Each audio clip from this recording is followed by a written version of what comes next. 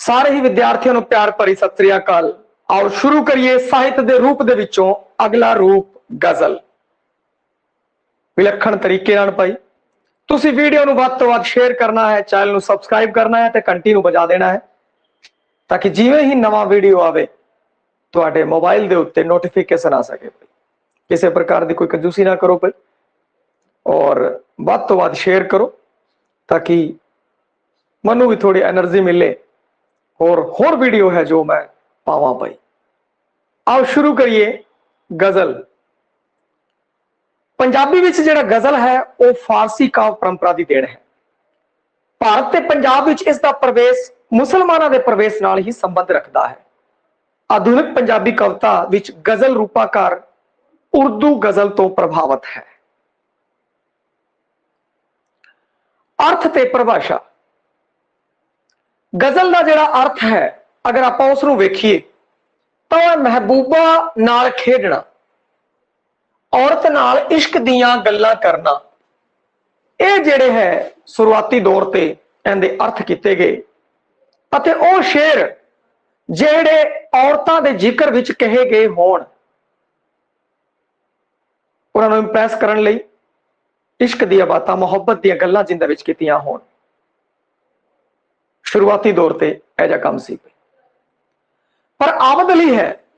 ਉਹ ਕਹਿੰਦਾ ਸੀ ਕਿ ਗਜ਼ਲ ਉਸ ਦਰਦਨਾਕ ਆਵਾਜ਼ ਨੂੰ ਕਹਿੰਦੇ ਨੇ, ਜੋ ਸ਼ਿਕਾਰੀ ਕੁੱਤਿਆਂ ਤੋਂ ਜਾਨ ਬਚਾਉਣ ਲਈ ਨਿਰਾਸ਼ ਹੋਇਆ ਹਿਰਨ ਸੰਕਟ ਦੇ ਸਮੇਂ ਕੱਢਦਾ ਹੈ। ਸ਼ਿਕਾਰੀ ਕੁੱਤੇ ਹਿਰਨ ਦੇ ਪਿੱਛੇ ਪੈ ਜਾਂਦੇ ਆ। ਉਸ ਟਾਈਮ ਫਿਰ ਜਦੋਂ ਉਹ ਆਵਾਜ਼ ਕੱਢਦਾ, ਉਹ ਦਰਦਮਈ ਆਵਾਜ਼ ਹੈ ਜਿਹੜੀ, ਉਸ ਤੋਂ ਸੰਬੰਧਿਤ ਕੀਤਾ ਹੈ।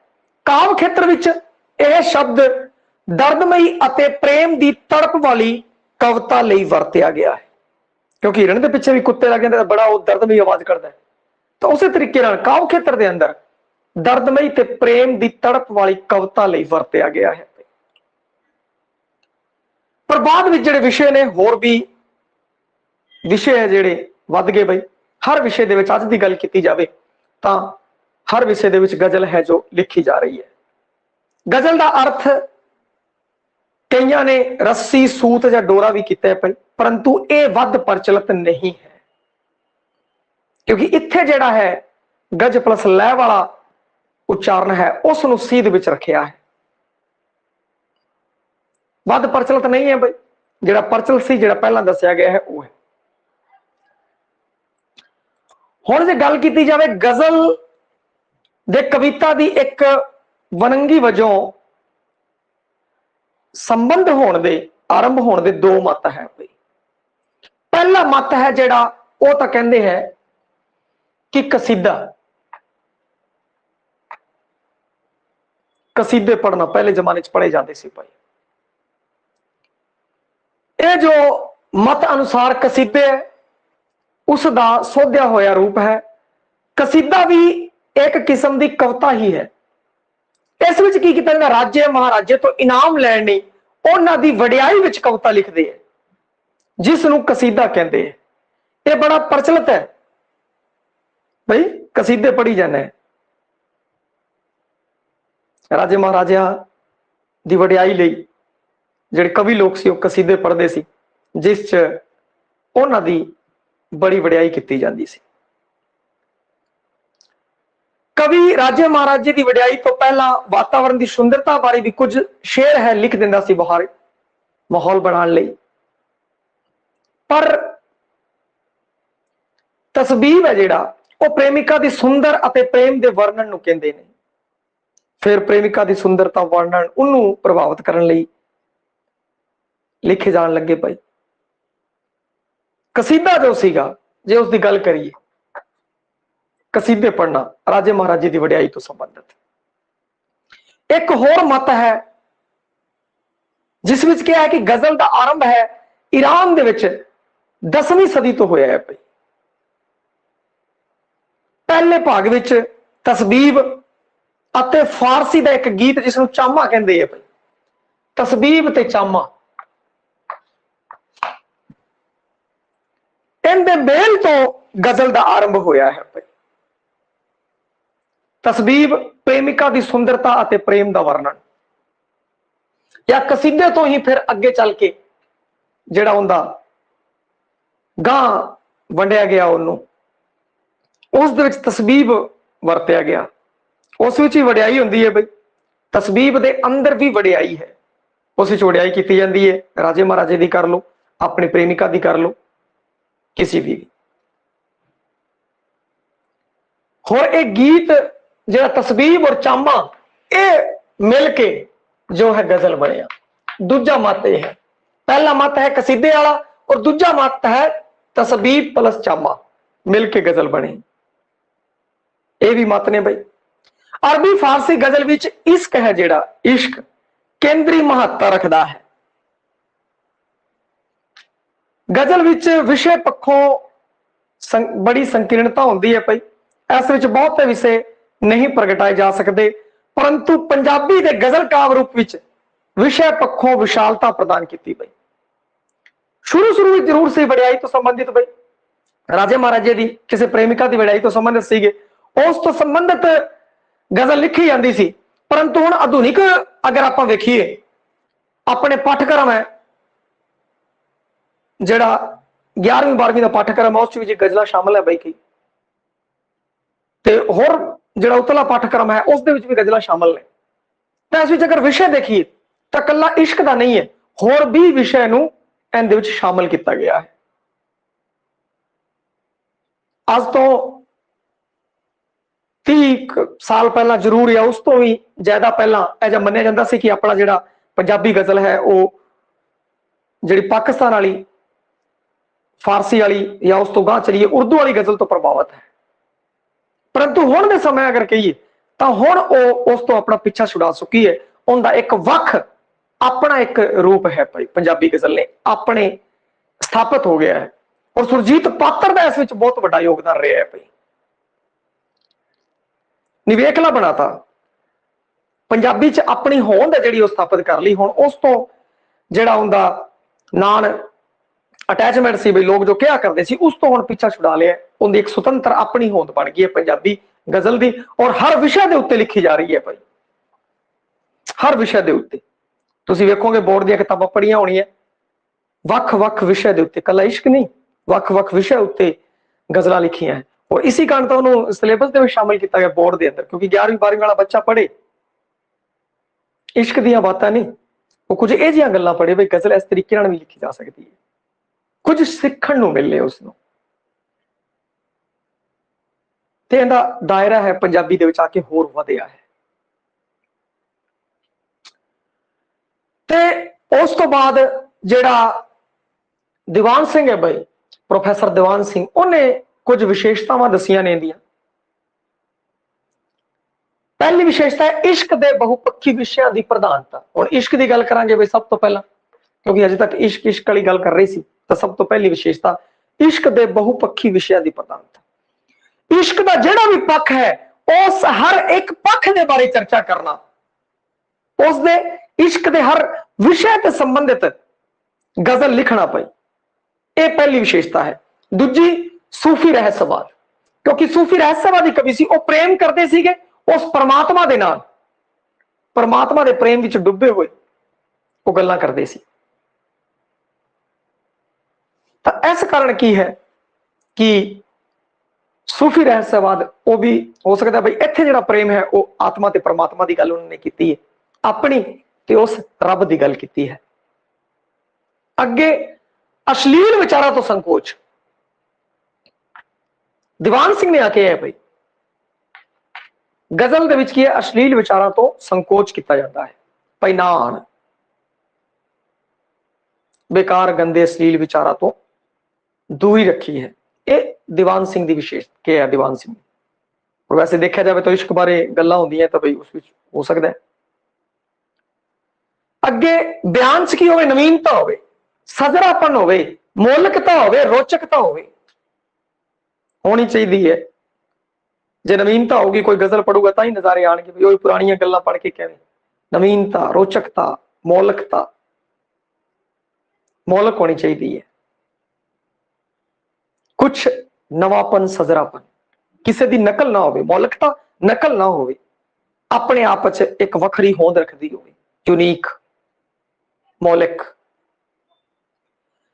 ਤਕਨੀਕ ਦੀ ਨਿਪੁਣਤਾ ਤਕਨੀਕ ਦੀ ਇਹਦੇ ਵਿੱਚ ਪੂਰੀ ਨਿਪੁਣਤਾ ਹੋਣੀ ਚਾਹੀਦੀ ਹੈ, ਉਹਦਾ ਧਿਆਨ ਰੱਖਣਾ ਜ਼ਰੂਰੀ ਹੈ ਬਈ। ਔਰ ਤਕਨੀਕ ਦੇ ਬਾਰੇ ਆਪਾਂ ਅੱਗੇ ਜਾ ਕੇ ਪੜਾਂਗੇ ਬਈ, ਜਿਹੜੀ ਗਜ਼ਲ ਦੀ ਤਕਨੀਕ ਹੈ, ਉਸ ਬਾਰੇ ਫਿਰ ਆਪਾਂ ਅੱਗੇ ਗੱਲ ਕਰਾਂਗੇ, ਤਕਨੀਕ ਬਾਰੇ। ਜੇ ਤੁਸੀਂ ਗਜ਼ਲ ਲਿਖਣੀ ਹੋਵੇ ਤਾਂ ਅੱਜ ਉਹ ਵੀ ਸਿਖਾ ਦੇਵਾਂਗੇ ਬਈ ਗਜ਼ਲ ਕਿਵੇਂ ਲਿਖੀ ਜਾਂਦੀ ਹੈ। ਕਿਉਂਕਿ ਕਈਆਂ ਨੂੰ ਕਵਿਤਾਵਾਂ ਲਿਖਣਾ ਦਾ ਮੇਰੇ ਵਾਲੀ ਤਰ੍ਹਾਂ ਸ਼ੌਂਕ ਹੋਣਾ ਬਈ। ਕੋਈ ਛੋਟਾ ਮੋਟਾ ਕਵੀ ਹੋਣਾ ਪਰ ਹੁਣ ਕਵਿਤਾਵਾਂ ਲਿਖਣ ਦਾ ਟਾਈਮ ਨਹੀਂ ਹੈ, ਗਜ਼ਲ ਲਿਖਣ ਦਾ ਟਾਈਮ ਨਹੀਂ ਹੈ ਪੜਨ ਦਾ ਟਾਈਮ ਹੈ। ਪਰੰਤੂ ਬਾਅਦ ਚ ਵੀ ਤੁਸੀਂ ਕਵਿਤਾ ਲਿਖਣੇ ਚਾਹੋ, ਗਜ਼ਲ ਲਿਖਣੇ ਚਾਹੋ, ਤਾਂ ਇਸ ਤਰੀਕੇ ਨਾਲ ਪੱਕੀ ਪੀੜ੍ਹੀ ਕਰਾ ਦੇਵਾਂਗੇ। ਭਈ ਗਜ਼ਲ ਲਿਖਣਾ ਵੀ ਚਾਹੋ, ਤਾਂ ਤੁਸੀਂ ਲਿਖ ਸਕਦੇ ਹੋ, ਉਹਦੀ ਤਕਨੀਕ ਤੁਹਾਨੂੰ ਪਤਾ ਲੱਗ ਜਾਏਗੀ। ਇਹਦੇ ਬਾਰੇ ਆਪਾਂ ਅੱਗੇ ਚਰਚਾ ਕਰਾਂਗੇ। ਸਮੁੱਚੀ ਗਜ਼ਲ ਪਰੰਪਰਾ ਦਾ ਗਿਆਨ, ਉਹਨੂੰ ਗਜ਼ਲ ਪਰੰਪਰਾ ਦਾ ਗਿਆਨ ਹੋਣਾ ਚਾਹੀਦਾ ਹੈ। ਕਿਉਂਕਿ ਉੱਥੋਂ ਹੀ ਫਿਰ ਕੁਝ ਸਿੱਖੂਗਾ ਕਰੂਗਾ ਲਿਖੂਗਾ ਇਹ ਜ਼ਰੂਰੀ ਹੈ ਸਿੱਧਾ ਕਿਵੇਂ ਕੰਮ ਚੱਲੇਗਾ ਇਹ ਕੁਝ ਖਾਸੀਅਤਾਂ ਨੇ ਪਈ ਦੁਬਾਰਾ ਗੱਲ ਕਰ ਲੈਨੇ ਇਸ਼ਕ ਦੇ ਬਹੁਪੱਖੀ ਵਿਸ਼ਿਆਂ ਦੀ ਪ੍ਰਧਾਨਤਾ ਸੂਫੀ ਰਹੱਸਵਾਦ ਤਸਵੁਫ ਦੀ ਗੱਲ ਅਸਲੀਲ ਵਿਚਾਰਾਂ ਤੋਂ ਸੰਕੋਚ ਬਿਆਨ ਚ ਨਵੀਨਤਾ ਮੌਲਿਕਤਾ ਰੋਚਕਤਾ ਤਕਨੀਕ ਦੀ ਨਿਪੁੰਨਤਾ ਸਮੁੱਚੀ ਗਜ਼ਲ ਪਰੰਪਰਾ ਦਾ ਗਿਆਨ ਹੁਣ ਅੱਗੇ ਗੱਲ ਕਰੀਏ ਗਜ਼ਲ ਦੀਆਂ ਕਿਸਮਾਂ ਦੀ। ਪ੍ਰਕਾਰ। ਗਜ਼ਲ ਹੈ ਭਾਵਗਤ ਤੌਰ ਤੇ ਅਗਰ ਦੇਖੀਏ, ਭਾਵ ਦੇ ਆਧਾਰ ਤੇ ਅਗਰ ਦੇਖੀਏ, ਤਾਂ ਦੋ ਤਰੀਕਿਆਂ ਦੀ ਹੈ। ਪਹਿਲੀ ਮੁਸਲਸਲ ਤੇ ਦੂਜੀ ਗੈਰ ਮੁਸਲਸਲ ਮੁਸਲਸਲ ਇੱਕ ਮਸਲੇ ਤੋਂ ਸੰਬੰਧਿਤ ਬਈ ਥੋੜਾ ਯਾਦ ਕਰਨ ਵਾਸਤੇ ਤੁਸੀਂ ਸੈਟਿੰਗ ਕਰ ਲਿਓ। ਮਸਲਾ ਸ਼ਬਦ ਇਸ ਵਿੱਚ ਜੋੜ ਲਿਓ। ਯਾਦ ਕਰ ਲਈ ਟ੍ਰਿਕ ਮੁਸਲਸਲ। ਇੱਕ ਹੀ ਮਸਲੇ ਤੋਂ ਸੰਬੰਧਿਤ ਹੋਵੇ। ਗੈਰ ਮੁਸਲਸਲ ਇੱਕ ਮਸਲੇ ਤੋਂ ਸੰਬੰਧਿਤ ਨਹੀਂ। ਹੁਣੇ ਤੁਸੀਂ ਪੁੱਛ- ਨਹੀਂ ਲੱਗੇ। ਹੁਣ ਅੱਗੇ ਗੱਲ ਕਰੀਏ ਪਹਿਲੀ ਦੀ, ਵਿਸਥਾਰ ਨਾਲ ਮੁਸਲਸਲ। ਗਜ਼ਲ ਦੇ ਹਰ ਸ਼ੇਰ ਵਿੱਚ ਭਾਵ ਤੇ ਵਿਚਾਰ ਅੰਤਰ ਸੰਬੰਧਿਤ ਹੋਣ। ਇੱਕ ਵਿਚਾਰ ਰੱਖੇ, ਜਿਹੜਾ ਇੱਕ ਵਿਚਾਰ, ਇੱਕ ਉਦੇਸ਼ ਨੂੰ ਲੈ ਕੇ ਉਹ ਚੱਲ ਰਿਹਾ, ਗਜ਼ਲ ਲਿਖ ਰਿਹਾ ਉਹ। ਉਸੇ ਵਿਚਾਰ ਤੋਂ ਸੰਬੰਧਿਤ ਜਿਹੜੀ ਗਜ਼ਲ ਹੈ ਉਹ ਹੋਣੀ ਚਾਹੀਦੀ ਹੈ। ਜਿੰਨੇ ਵੀ ਸ਼ੇਰ ਹੋਣ ਗਜ਼ਲ ਦੇ ਵਿੱਚ। ਘੱਟ ਤੋਂ ਘੱਟ 4-5 ਸ਼ੇਅਰ ਹੋਣੇ ਚਾਹੀਦੇ ਉਸ ਤੋਂ ਬਾਅਦ ਜਿੰਨੇ ਮਰਜ਼ੀ ਹੋ ਸਕਦੇ ਆ, ਉਸ ਤੋਂ ਘੱਟ ਨਹੀਂ ਹੋਣਗੇ। ਤੇ ਜਿੰਨੇ ਵੀ ਉਹ ਵਿਚਾਰ ਪੇਸ਼ ਕੀਤੇ ਆ, ਸਾਰੇ ਇੱਕ ਦੂਜੇ ਤੋਂ ਅੰਤਰ ਸੰਬੰਧਿਤ ਹੋਣਗੇ। ਗੈਰ ਮਸਲਸਲ, ਇਸ ਵਿੱਚ ਹਰ ਸ਼ੇਰ ਹੈ ਜਿਹੜਾ ਸੁਤੰਤਰ ਹੋਂਦ ਰੱਖੇਗਾ ਤੇ ਭਾਵ ਪ੍ਰਦਾਨ ਹੁੰਦਾ ਇਸ 'ਚ। ਹਰ ਸ਼ੇਰ ਦੀ ਵੱਖਰੀ ਹੁੰਦਾ ਹੈ। ਇੱਕ ਸ਼ੇਰ ਹੈ ਉਹਦੇ 'ਚ ਵੱਖਰਾ ਵਿਚਾਰ, ਦੂਜੇ 'ਚ ਵੱਖਰਾ, ਤੀਜੇ 'ਚ ਵੱਖਰਾ, ਚੌਥੇ 'ਚ ਵੱਖਰਾ। ਇਵੇਂ ਵੀ ਹੋ ਸਕਦਾ ਹੈ ਭਾਈ। ਅੰਤਰ ਸੰਬੰਧਿਤ ਭਾਵ ਜਿਹੜੇ ਵਿਚਾਰ ਨੇ ਤੇ ਉਹ ਅੰਤਰ ਸੰਬੰਧਿਤ ਨਹੀਂ ਹੋਣਗੇ ਭਾਈ। ਇਹ ਗੈਰ ਮਸਲਸਲ ਹੈ। ਮਸਲਾ ਯਾਦ ਰੱਖ ਲਿਓ ਭਾਈ। ਉਸ ਨਾਲ ਆਪਾਂ ਨੂੰ ਯਾਦ ਰਹਿ ਜਾਵੇਗਾ। ਫਿਰ ਤੁਕਾਂਤ ਦੇ ਆਧਾਰ ਤੇ ਭਾਈ। ਤੁਕਾਂ ਦਾ ਅੰਤ ਹੈ ਜਿਹੜਾ ਉਸ ਦੇ ਆਧਾਰ ਤੇ ਮੁਅੱਦਸ ਤੇ ਮੁਕੱਫਾ ਮੁਅੱਦਸ ਹੈ ਜਿਹੜਾ ਇਸ ਵਿੱਚ ਕਾਫੀਆ ਤੇ ਰਦੀਫ ਦੋਨੋਂ ਮਿਲਣਗੇ ਭਾਈ ਮੁਅੱਦਸ ਦੇ ਅੰਦਰ ਕਾਫੀਆ ਵੀ ਮਿਲੇਗਾ ਤੇ ਰਦੀਫ ਵੀ ਮਿਲੇਗਾ ਹੋਰ ਮੁਕੱਫਾ ਮੁਕੱਫੇ ਵਿੱਚ ਸਿਰਫ ਕਾਫੀਆ ਮਿਲੇਗਾ ਭਾਈ ਤੁਕਾਂਤ ਮੇਲ ਹੋਏਗਾ ਕਾਫੀਆ ਤੁਕਾਂਤ ਮੇਲ ਨੂੰ ਸਮਝ ਲਓ ਅੱਗੇ ਫਿਰ ਵਿਸਥਾਰ ਨਾਲ ਚਰਚਾ ਕਰਾਂਗੇ ਮੁਕੱਫਾ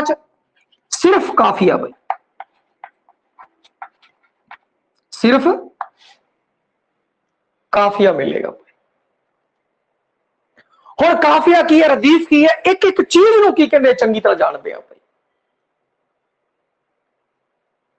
ਹੋਰ ਜਿਹੜਾ ਗਜ਼ਲਾਂ ਦਾ ਸੰਗ੍ਰਹਿ ਹੈ ਉਸ ਨੂੰ ਦੀਵਾਨ ਕਹਿੰਦੇ ਆ ਭਾਈ ਦੀਵਾਨ ਗਜ਼ਲਾਂ ਦਾ ਸੰਗ੍ਰਹਿ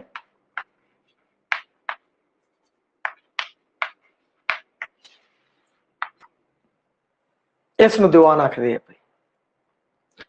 ਹੁਣ ਗੱਲ ਕਰਦੇ ਗਜ਼ਲ, ਮੈਂ ਤੁਹਾਨੂੰ ਕਿਹਾ ਸੀਗਾ ਪਹਿਲਾਂ ਵੀ, ਅੱਜ ਆਪਣਾ ਜਿਹੜਾ ਗਰੁੱਪ ਹੈ, WhatsApp ਗਰੁੱਪ ਆਨਲਾਈਨ ਵਾਲਿਆਂ ਦਾ, ਉਹਦੇ ਵਿੱਚ ਮੈਂ ਕਿਹਾ ਸੀ ਤੁਸੀਂ ਗਜ਼ਲ ਪੜ੍ਹਿਓ ਪਈ ਤੁਸੀਂ ਪੜ੍ਹੀ ਹੋਣੀ ਹੈ ਔਰ ਜੇ ਨਹੀਂ ਪੜ੍ਹੀ ਹੋਈ ਤਾਂ ਕੋਈ ਦਿੱਕਤ ਨਹੀਂ, ਇੱਥੇ ਆਪਾਂ ਹੁਣ ਗੌਰ ਕਰਦੇ ਹਾਂ।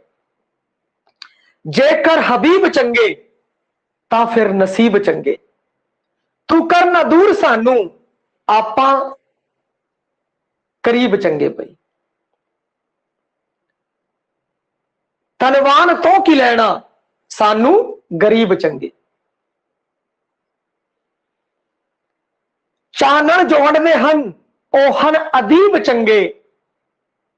ਮੈਂ ਮਿਟ ਗਿਆ ਤੂੰ, ਕਹਿਨੇ, ਤੇਰੇ ਨਸੀਬ ਚੰਗੇ। ਦੁੱਖ ਵਿੱਚ ਮਨਾਉਣ ਸੁਖ ਜੋ, ਸਾਥੋਂ ਗਰੀਬ ਚੰਗੇ। ਨਿਰਮਲ ਜੋ ਵਸਲ ਮਾਨਣ ਸਾਥੋਂ ਰਕੀਬ ਚੰਗੀ। ਨਿਰਮਲ ਜੋ ਵਸਲ ਮਾਨਣ ਸਾਥੋਂ ਰਕੀਬ ਚੰਗੀ। ਇਹ ਜਿਹੜੀ ਗਜ਼ਲ ਹੈ ਤੁਹਾਡੇ ਸਾਹਮਣੇ ਹੈ, ਇਸ ਵਿੱਚੋਂ ਦੋ ਕਲੜਾ ਹੈ ਜੋ ਮੈਂ ਛੱਡਤੀਆਂ ਪਈ ਸਭ ਤੋਂ ਪਹਿਲਾਂ ਅਗਰ ਗੱਲ ਕਰੀਏ ਤਾਂ ਉਹ ਹੈ ਕਿ ਸ਼ੇਰ ਦੀ ਪਈ ਗਜ਼ਲ ਦੀ ਇੱਕ ਇਕਾਈ ਸ਼ੇਰ ਹੁੰਦਾ ਹੈ। ਅਤੇ ਗਜ਼ਲ ਵਿੱਚ ਸ਼ੇਰਾਂ ਦੀ ਗਿਣਤੀ ਦੀ ਕੋਈ ਬੰਦਸ ਨਹੀਂ ਹੁੰਦੀ ਸ਼ੇਰ ਦੋ ਤੁਕਾਂ ਤੇ ਆਧਾਰਿਤ ਹੁੰਦਾ ਹੈ ਬਈ। ਦੋ ਤੁਕਾਂ ਦੀ ਜਿਹੜੀ ਕਾਵ ਟੁਕੜੀ ਹੈ, ਜਿਵੇਂ ਆਰੀ ਆ ਇੱਕ ਸ਼ੇਰ ਹੋ ਗਿਆ।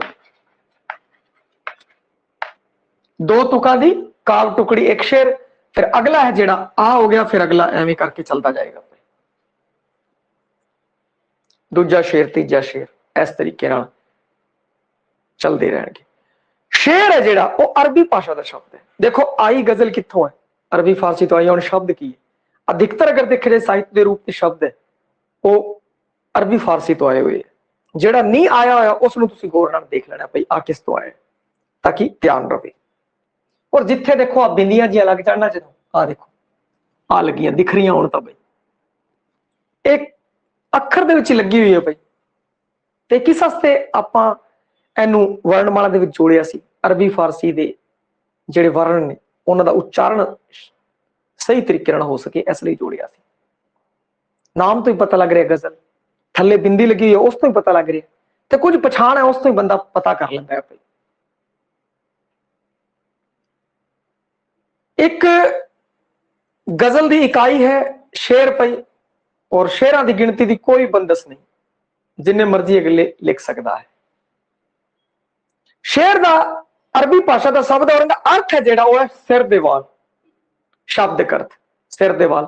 ਜਿਸ ਤਰ੍ਹਾਂ ਵਾਲ ਵਾਉਣਾ ਸਵਾਰਨਾ, ਗੁੰਨਣਾ, ਨਾਲ ਸਿਰ ਤੇ ਚਿਹਰੇ ਦੀ ਸੁੰਦਰਤਾ ਹੈ ਜਿਹੜੀ ਉਹ ਵੱਧ ਜਾਂਦੀ ਹੈ। ਉਸੇ ਤਰ੍ਹਾਂ ਸ਼ਬਦ ਰੂਪੀ ਵਾਲਾਂ ਨੂੰ ਕਿਸੇ ਖਾਸ ਤਰਤੀਬ, ਤੋਲ, ਵੈਰ, ਵਜਨ ਦੇ ਵਿੱਚ ਰੱਖਣ ਨਾਲ ਸ਼ਬਦ ਦੀ ਸੁੰਦਰਤਾ ਵੱਧ ਜਾਂਦੀ ਹੈ। ਇਸ ਕਾਰਨ ਇਸ ਨੂੰ ਸ਼ੇਰ ਕਹਿੰਦੀ ਹੈ ਜਿਵੇਂ ਵਾਲ ਹੈ, ਸਵਾਰਦੇ ਆ, ਬੰਦਾ ਸੋਹਣਾ ਲੱਗਦਾ ਉਸੇ ਤਰੀਕੇ ਨਾਲ, ਸ਼ਬਦ ਨੂੰ ਸੁੰਦਰ ਤਰੀਕੇ ਨਾਲ ਸਵਾਰ ਦੇਣ ਨਾਲ ਉਹ ਵੀ ਸੋਹਣੇ ਲੱਗਣ ਲੱਗ ਜਾਂਦੇ ਆ। ਇਸ ਕਾਰਨ ਸ਼ੇਰ ਕਿਹਾ ਜਾਂਦਾ ਹੈ। ਦੋ ਤੁਕਾਂ ਤੇ, ਦੋ ਤੁਕਾਂ ਦੀ ਹੋਏਗੀ ਬਈ ਟੁਕੜੀ। ਹਰ ਸ਼ੇਰ ਦੇ ਅੰਦਰ ਦੋ ਤੁਕਾਂ ਹੁੰਦੀਆਂ ਨੇ। ਇਹ ਆਪਾਂ ਨੂੰ ਪਤਾ ਲੱਗ ਗਿਆ। ਔਰ ਹਰ ਇੱਕ ਤੁਕ ਨੂੰ ਮਿਸ਼ਰਾ ਕਹਿੰਦੇ ਆ ਬਈ। ਹੁਣ ਇਹ ਦੋ ਤੁਕਾਂ ਦਾ ਸ਼ੇਰ ਹੋ ਗਿਆ। ਇਹਨੂੰ ਕੀ ਕਵਾਂਗੇ? ਮਿਸ਼ਰਾ। ਹਰ ਤੁਕ ਨੂੰ ਮਿਸ਼ਰਾ ਕਵਾਂਗੇ ਜਿਹੜੀ ਹਰ ਤੁਕ ਆ ਉਹ ਕੀ ਹੈ? ਮਿਸ਼ਰਾ ਆ ਵੀ ਮਿਸ਼ਰਾ ਕਹਾਂਗੇ। ਬਸ ਜਿਨੀਅਤ ਬਈ ਸਿੰਪਲ ਜੀ ਗੱਲ ਗਜ਼ਲ ਦੇ ਵਿੱਚ ਜਿਹੜੀ ਤੁੱਕ ਹੈ ਉਸ ਨੂੰ ਤੁਕ ਨਾ ਆਖ ਕੇ ਮਿਸਰਾ ਆਖਿਆ ਜਾਂਦਾ ਹੈ ਹੁਣ ਮਿਸਰਾ ਔਰ ਜੇ ਮੈਂ ਇੱਥੇ ਤੁੱਕ ਕਰਦਾ, ਇੱਕ ਹੀ ਗੱਲ ਹੈ। ਔਰ ਤੁੱਕ ਦੇ ਬਾਰੇ ਆਪਾਂ ਸਾਹਿਤ ਦੇ ਰੂਪ ਵਿੱਚ ਲਗਾਤਾਰ ਪੜ ਰਹੇ ਹਾਂ ਭਾਈ। ਲਗਾਤਾਰ ਪੜ ਰਹੇ ਹਾਂ, ਤੁਕ ਕੀ ਹੁੰਦੀ ਹੈ। ਔਰ ਇੱਥੇ ਅਗਰ ਗੱਲ ਕੀਤੀ ਹੈ ਗਜ਼ਲ ਦੇ ਵਿੱਚ, ਹਰ ਸ਼ੇਰ ਦੇ ਅੰਦਰ ਦੋ ਤੁਕਾਂ ਹੋਣਗੀਆਂ, ਇਹਦੇ ਦੋ ਤੁਕ ਹੈ। ਜੇਕਰ ਹਬੀਬ ਚੰਗੇ, ਤਾਂ ਫਿਰ ਨਸੀਬ ਚੰਗੇ। ਆ ਤਾਂ ਹੋ ਗਿਆ ਸ਼ੇਰ ਦੋ ਤੁਕਾਂ ਵਾਲਾ। ਔਰ ਇਹਦੇ ਵਿੱਚ ਹਰ ਤੁਕ ਨੂੰ, ਇਸ ਤੁਕ ਨੂੰ ਵੀ, ਇਸ ਤੁਕ ਨੂੰ ਵੀ, ਇਸ ਤੁਕ ਨੂੰ, ਹਰ ਤੁਕ ਨੂੰ ਕੀ ਕਵਾਂਗੇ? ਤੁਕ ਨੂੰ ਕੀ ਕਵਾਂਗੇ? ਤੁਕ ਨੂੰ ਕਵਾਂਗੇ ਮਿਸ਼ਰਾ। ਗਜ਼ਲ ਦੇ ਅੰਦਰ ਤੁਕ ਨੂੰ ਮਿਸ਼ਰਾ ਕਹਿੰਦੇ ਐ ਇੱਕ ਲਾਈਨ ਅੰਦਰ। ਸਮਝ ਲਓ ਤੁਸੀਂ। ਹੁਣ ਤੋਲ ਕਾਫੀਆ ਤੇ ਰਦੀਫ ਦੇ ਸੁਮੇਲ ਨੂੰ ਗਜ਼ਲ ਦੀ ਜ਼ਮੀਨ ਕਹਿੰਦੇ ਆ ਇੱਥੇ ਆ ਦੇਖੋ, ਜੇਕਰ ਰਕੀਬ ਚੰਗੇ ਤਾਂ ਫਿਰ ਨਸੀਬ ਚੰਗੇ। ਇਹਦਾ ਤੋਲ, ਵਜ਼ਨ, ਕਾਫੀਆ, ਰਦੀਫ, ਇਹਦਾ ਸੁਮੇਲ ਹੋ ਰਿਹਾ ਤਾਂ ਇਸ ਨੂੰ ਕੀ ਕਹਾਂਗੇ ਗਜ਼ਲ ਦੀ ਜ਼ਮੀਨ ਕਹਾਂਗੇ ਜਦੋਂ ਕਾਫੀਆ, ਰਦੀਫ, ਤੋਲ ਸਭ ਕੁਝ ਮਿਲ ਜਾਵੇ, ਤਾਂ ਉਸ ਨੂੰ ਗਜ਼ਲ ਦੀ ਜ਼ਮੀਨ ਕਹਿੰਦੇ ਆ। ਹੁਣ ਗੱਲ ਕਰੀਏ ਮਤਲੇ ਦੀ ਭਾਈ ਮਤਲਾ। ਜਿਹੜਾ ਪਹਿਲਾ ਸ਼ੇਰ ਹੁੰਦਾ ਹੈ ਉਸ ਨੂੰ ਮਤਲਾ ਕਹਿੰਦੇ ਆ। ਹੁਣ ਇਹਦੇ ਵਿੱਚ ਪਹਿਲਾ ਸ਼ੇਰ ਕਿਹੜਾ? ਜੇਕਰ ਹਬੀਬ ਚੰਗੇ, ਤਾਂ ਫਿਰ ਨਸੀਬ ਚੰਗੇ। ਆ ਜਿਹੜਾ ਪਹਿਲਾ ਸ਼ੇਰ ਹੈ ਇਸ ਨੂੰ ਮਤਲਾ।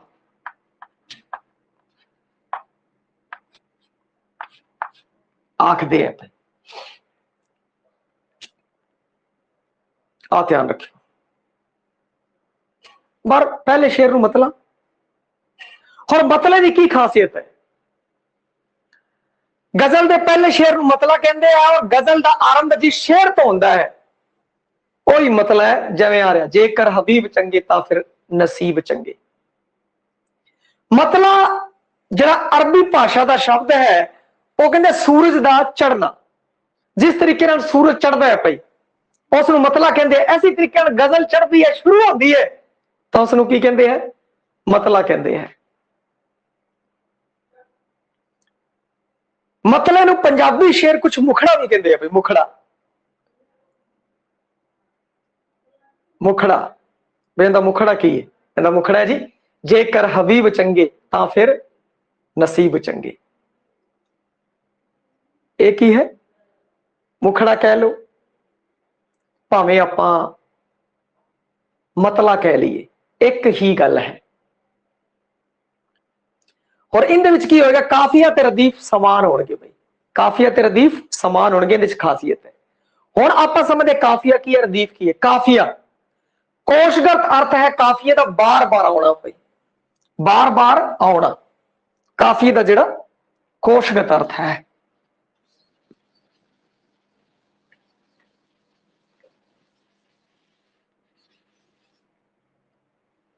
ਲਓ ਜੀ ਕਾਫੀਆ। ਤੁਕਾਂਤ ਮੇਲ ਨੂੰ ਹੀ ਕਾਫੀਆ ਕਹਿੰਦੇ ਆ ਬਈ ਕਾਫੀਆ ਬਾਰ-ਬਾਰ ਆਉਣਾ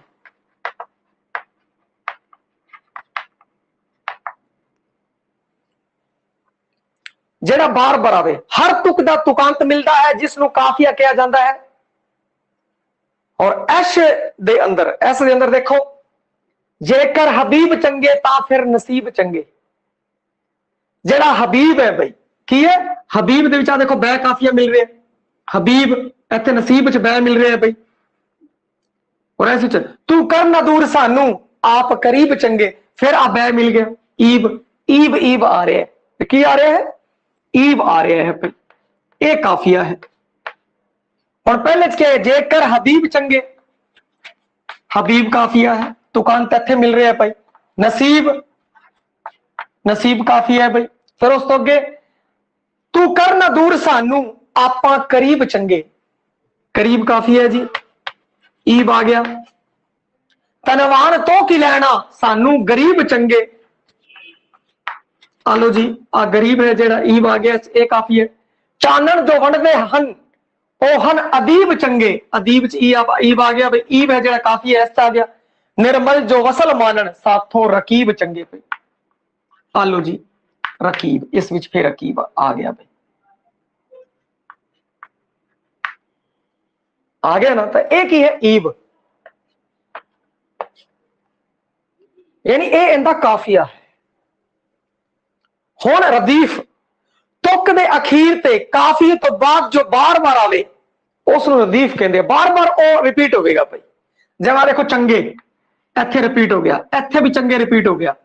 ਤੂੰ ਕਰਨਾ ਦੂਰ ਸਾਨੂੰ, ਆਪਾਂ ਰਕੀਬ ਚੰਗੇ, ਇੱਥੇ ਵੀ ਆ ਗਿਆ। ਇਹ ਰਦੀਫ ਹੈ। ਰਦੀਫ ਸਥਿਰ ਰਹਿੰਦਾ ਹੈ ਭਾਈ। ਇਸ ਆ ਜਿਹੜਾ ਰਦੀਫ ਹੈ, ਇਹ ਕੀ ਹੈ? ਸਥਿਰ ਹੈਗਾ ਬਦਲੇਗਾ ਨਹੀਂ ਬਾਰ-ਬਾਰ। ਦੇਖੋ, ਇਸ ਤੋਂ ਅੱਗੇ ਤਨਵਾਨ ਤੋਂ ਕੀ ਲੈਣਾ ਸਾਨੂੰ ਗਰੀਬ ਚੰਗੇ ਆ ਜੀ ਚੰਗੇ ਆ ਗਿਆ। ਚਾਨਣ ਜੋ ਵੰਡਦੇ ਹਨ, ਉਹ ਹਨ ਅਦੀਬ ਚੰਗੇ ਆ ਚੰਗੇ ਆ ਗਿਆ ਜੀ, ਇੱਥੇ ਵੀ ਚੰਗੇ ਆ ਗਿਆ। ਇਹ ਚੰਗੇ ਚੰਗੇ ਸਥਿਰ ਹੈ ਔਰ ਬਾਰ-ਬਾਰ ਆ ਰਿਹਾ ਹੈ, ਹੋਰ ਕਾਫੀਏ ਤੋਂ ਬਾਅਦ ਆ ਰਿਹਾ ਹੈ। ਕਾਫੀਏ ਤੋਂ ਬਾਅਦ ਆਵੇਗਾ, ਬਾਰ-ਬਾਰ ਆਵੇਗਾ, ਇਹ ਕੀ ਹੋਵੇਗਾ? ਰਦੀਫ ਹੋਏਗਾ। ਰਦੀਫ। ਔਰ ਕਾਫੀਆ, ਤੁਕਾਂਤ ਮੇਲ ਵਾਰ-ਵਾਰ ਆਉਣਾ, ਪਰੰਤੂ ਰਦੀਫ ਤੋਂ ਪਹਿਲਾਂ ਹੋਵੇਗਾ। ਹੁਣ ਜੇ ਮੈਂ ਇਸ ਵਿੱਚ ਕੀ ਹੈ, ਈਬ ਹੈ, ਹਬੀਬ ਹੈ, ਨਸੀਬ ਹੈ, ਕਰੀਬ ਹੈ, ਇਹ ਕੀ ਹੈ? ਕਾਫੀਆ ਹੈ। ਹੁਣ ਮਤਲਬ ਚ ਕੀ ਹੁੰਦਾ ਹੈ? ਮਤਲਬ ਚ ਕਾਫੀਆ ਤੇ ਰਦੀਫ ਸ਼ੇਰ ਦੇ ਅੰਦਰ ਹਰ ਮਿਸਰੇ ਚ ਰਿਪੀਟ ਹੋਏਗਾ। ਹੁਣ ਇੱਥੇ ਦੇਖੋ, ਹਬੀਬ ਚੰਗੇ, ਨਸੀਬ ਚੰਗੇ। ਕੀ ਹੋ ਰਿਹਾ ਹੈ? ਰਿਪੀਟ ਹੋ ਰਿਹਾ ਹੈ। ਕੋਈ ਵੀ ਗਜ਼ਲ ਦੇਖ ਲਿਓ, ਗਜ਼ਲ ਦੇ ਵਿੱਚ ਸ਼ੁਰੂਆਤ ਹੁੰਦੀ ਹੈ।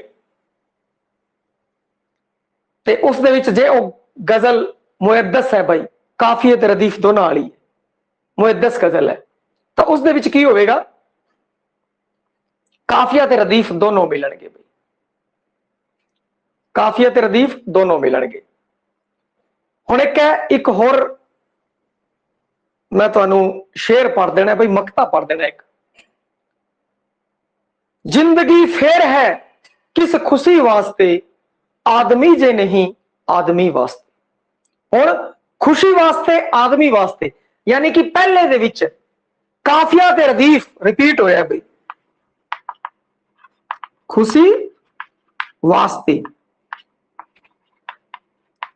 ਆਦਮੀ ਵਾਸਤੇ।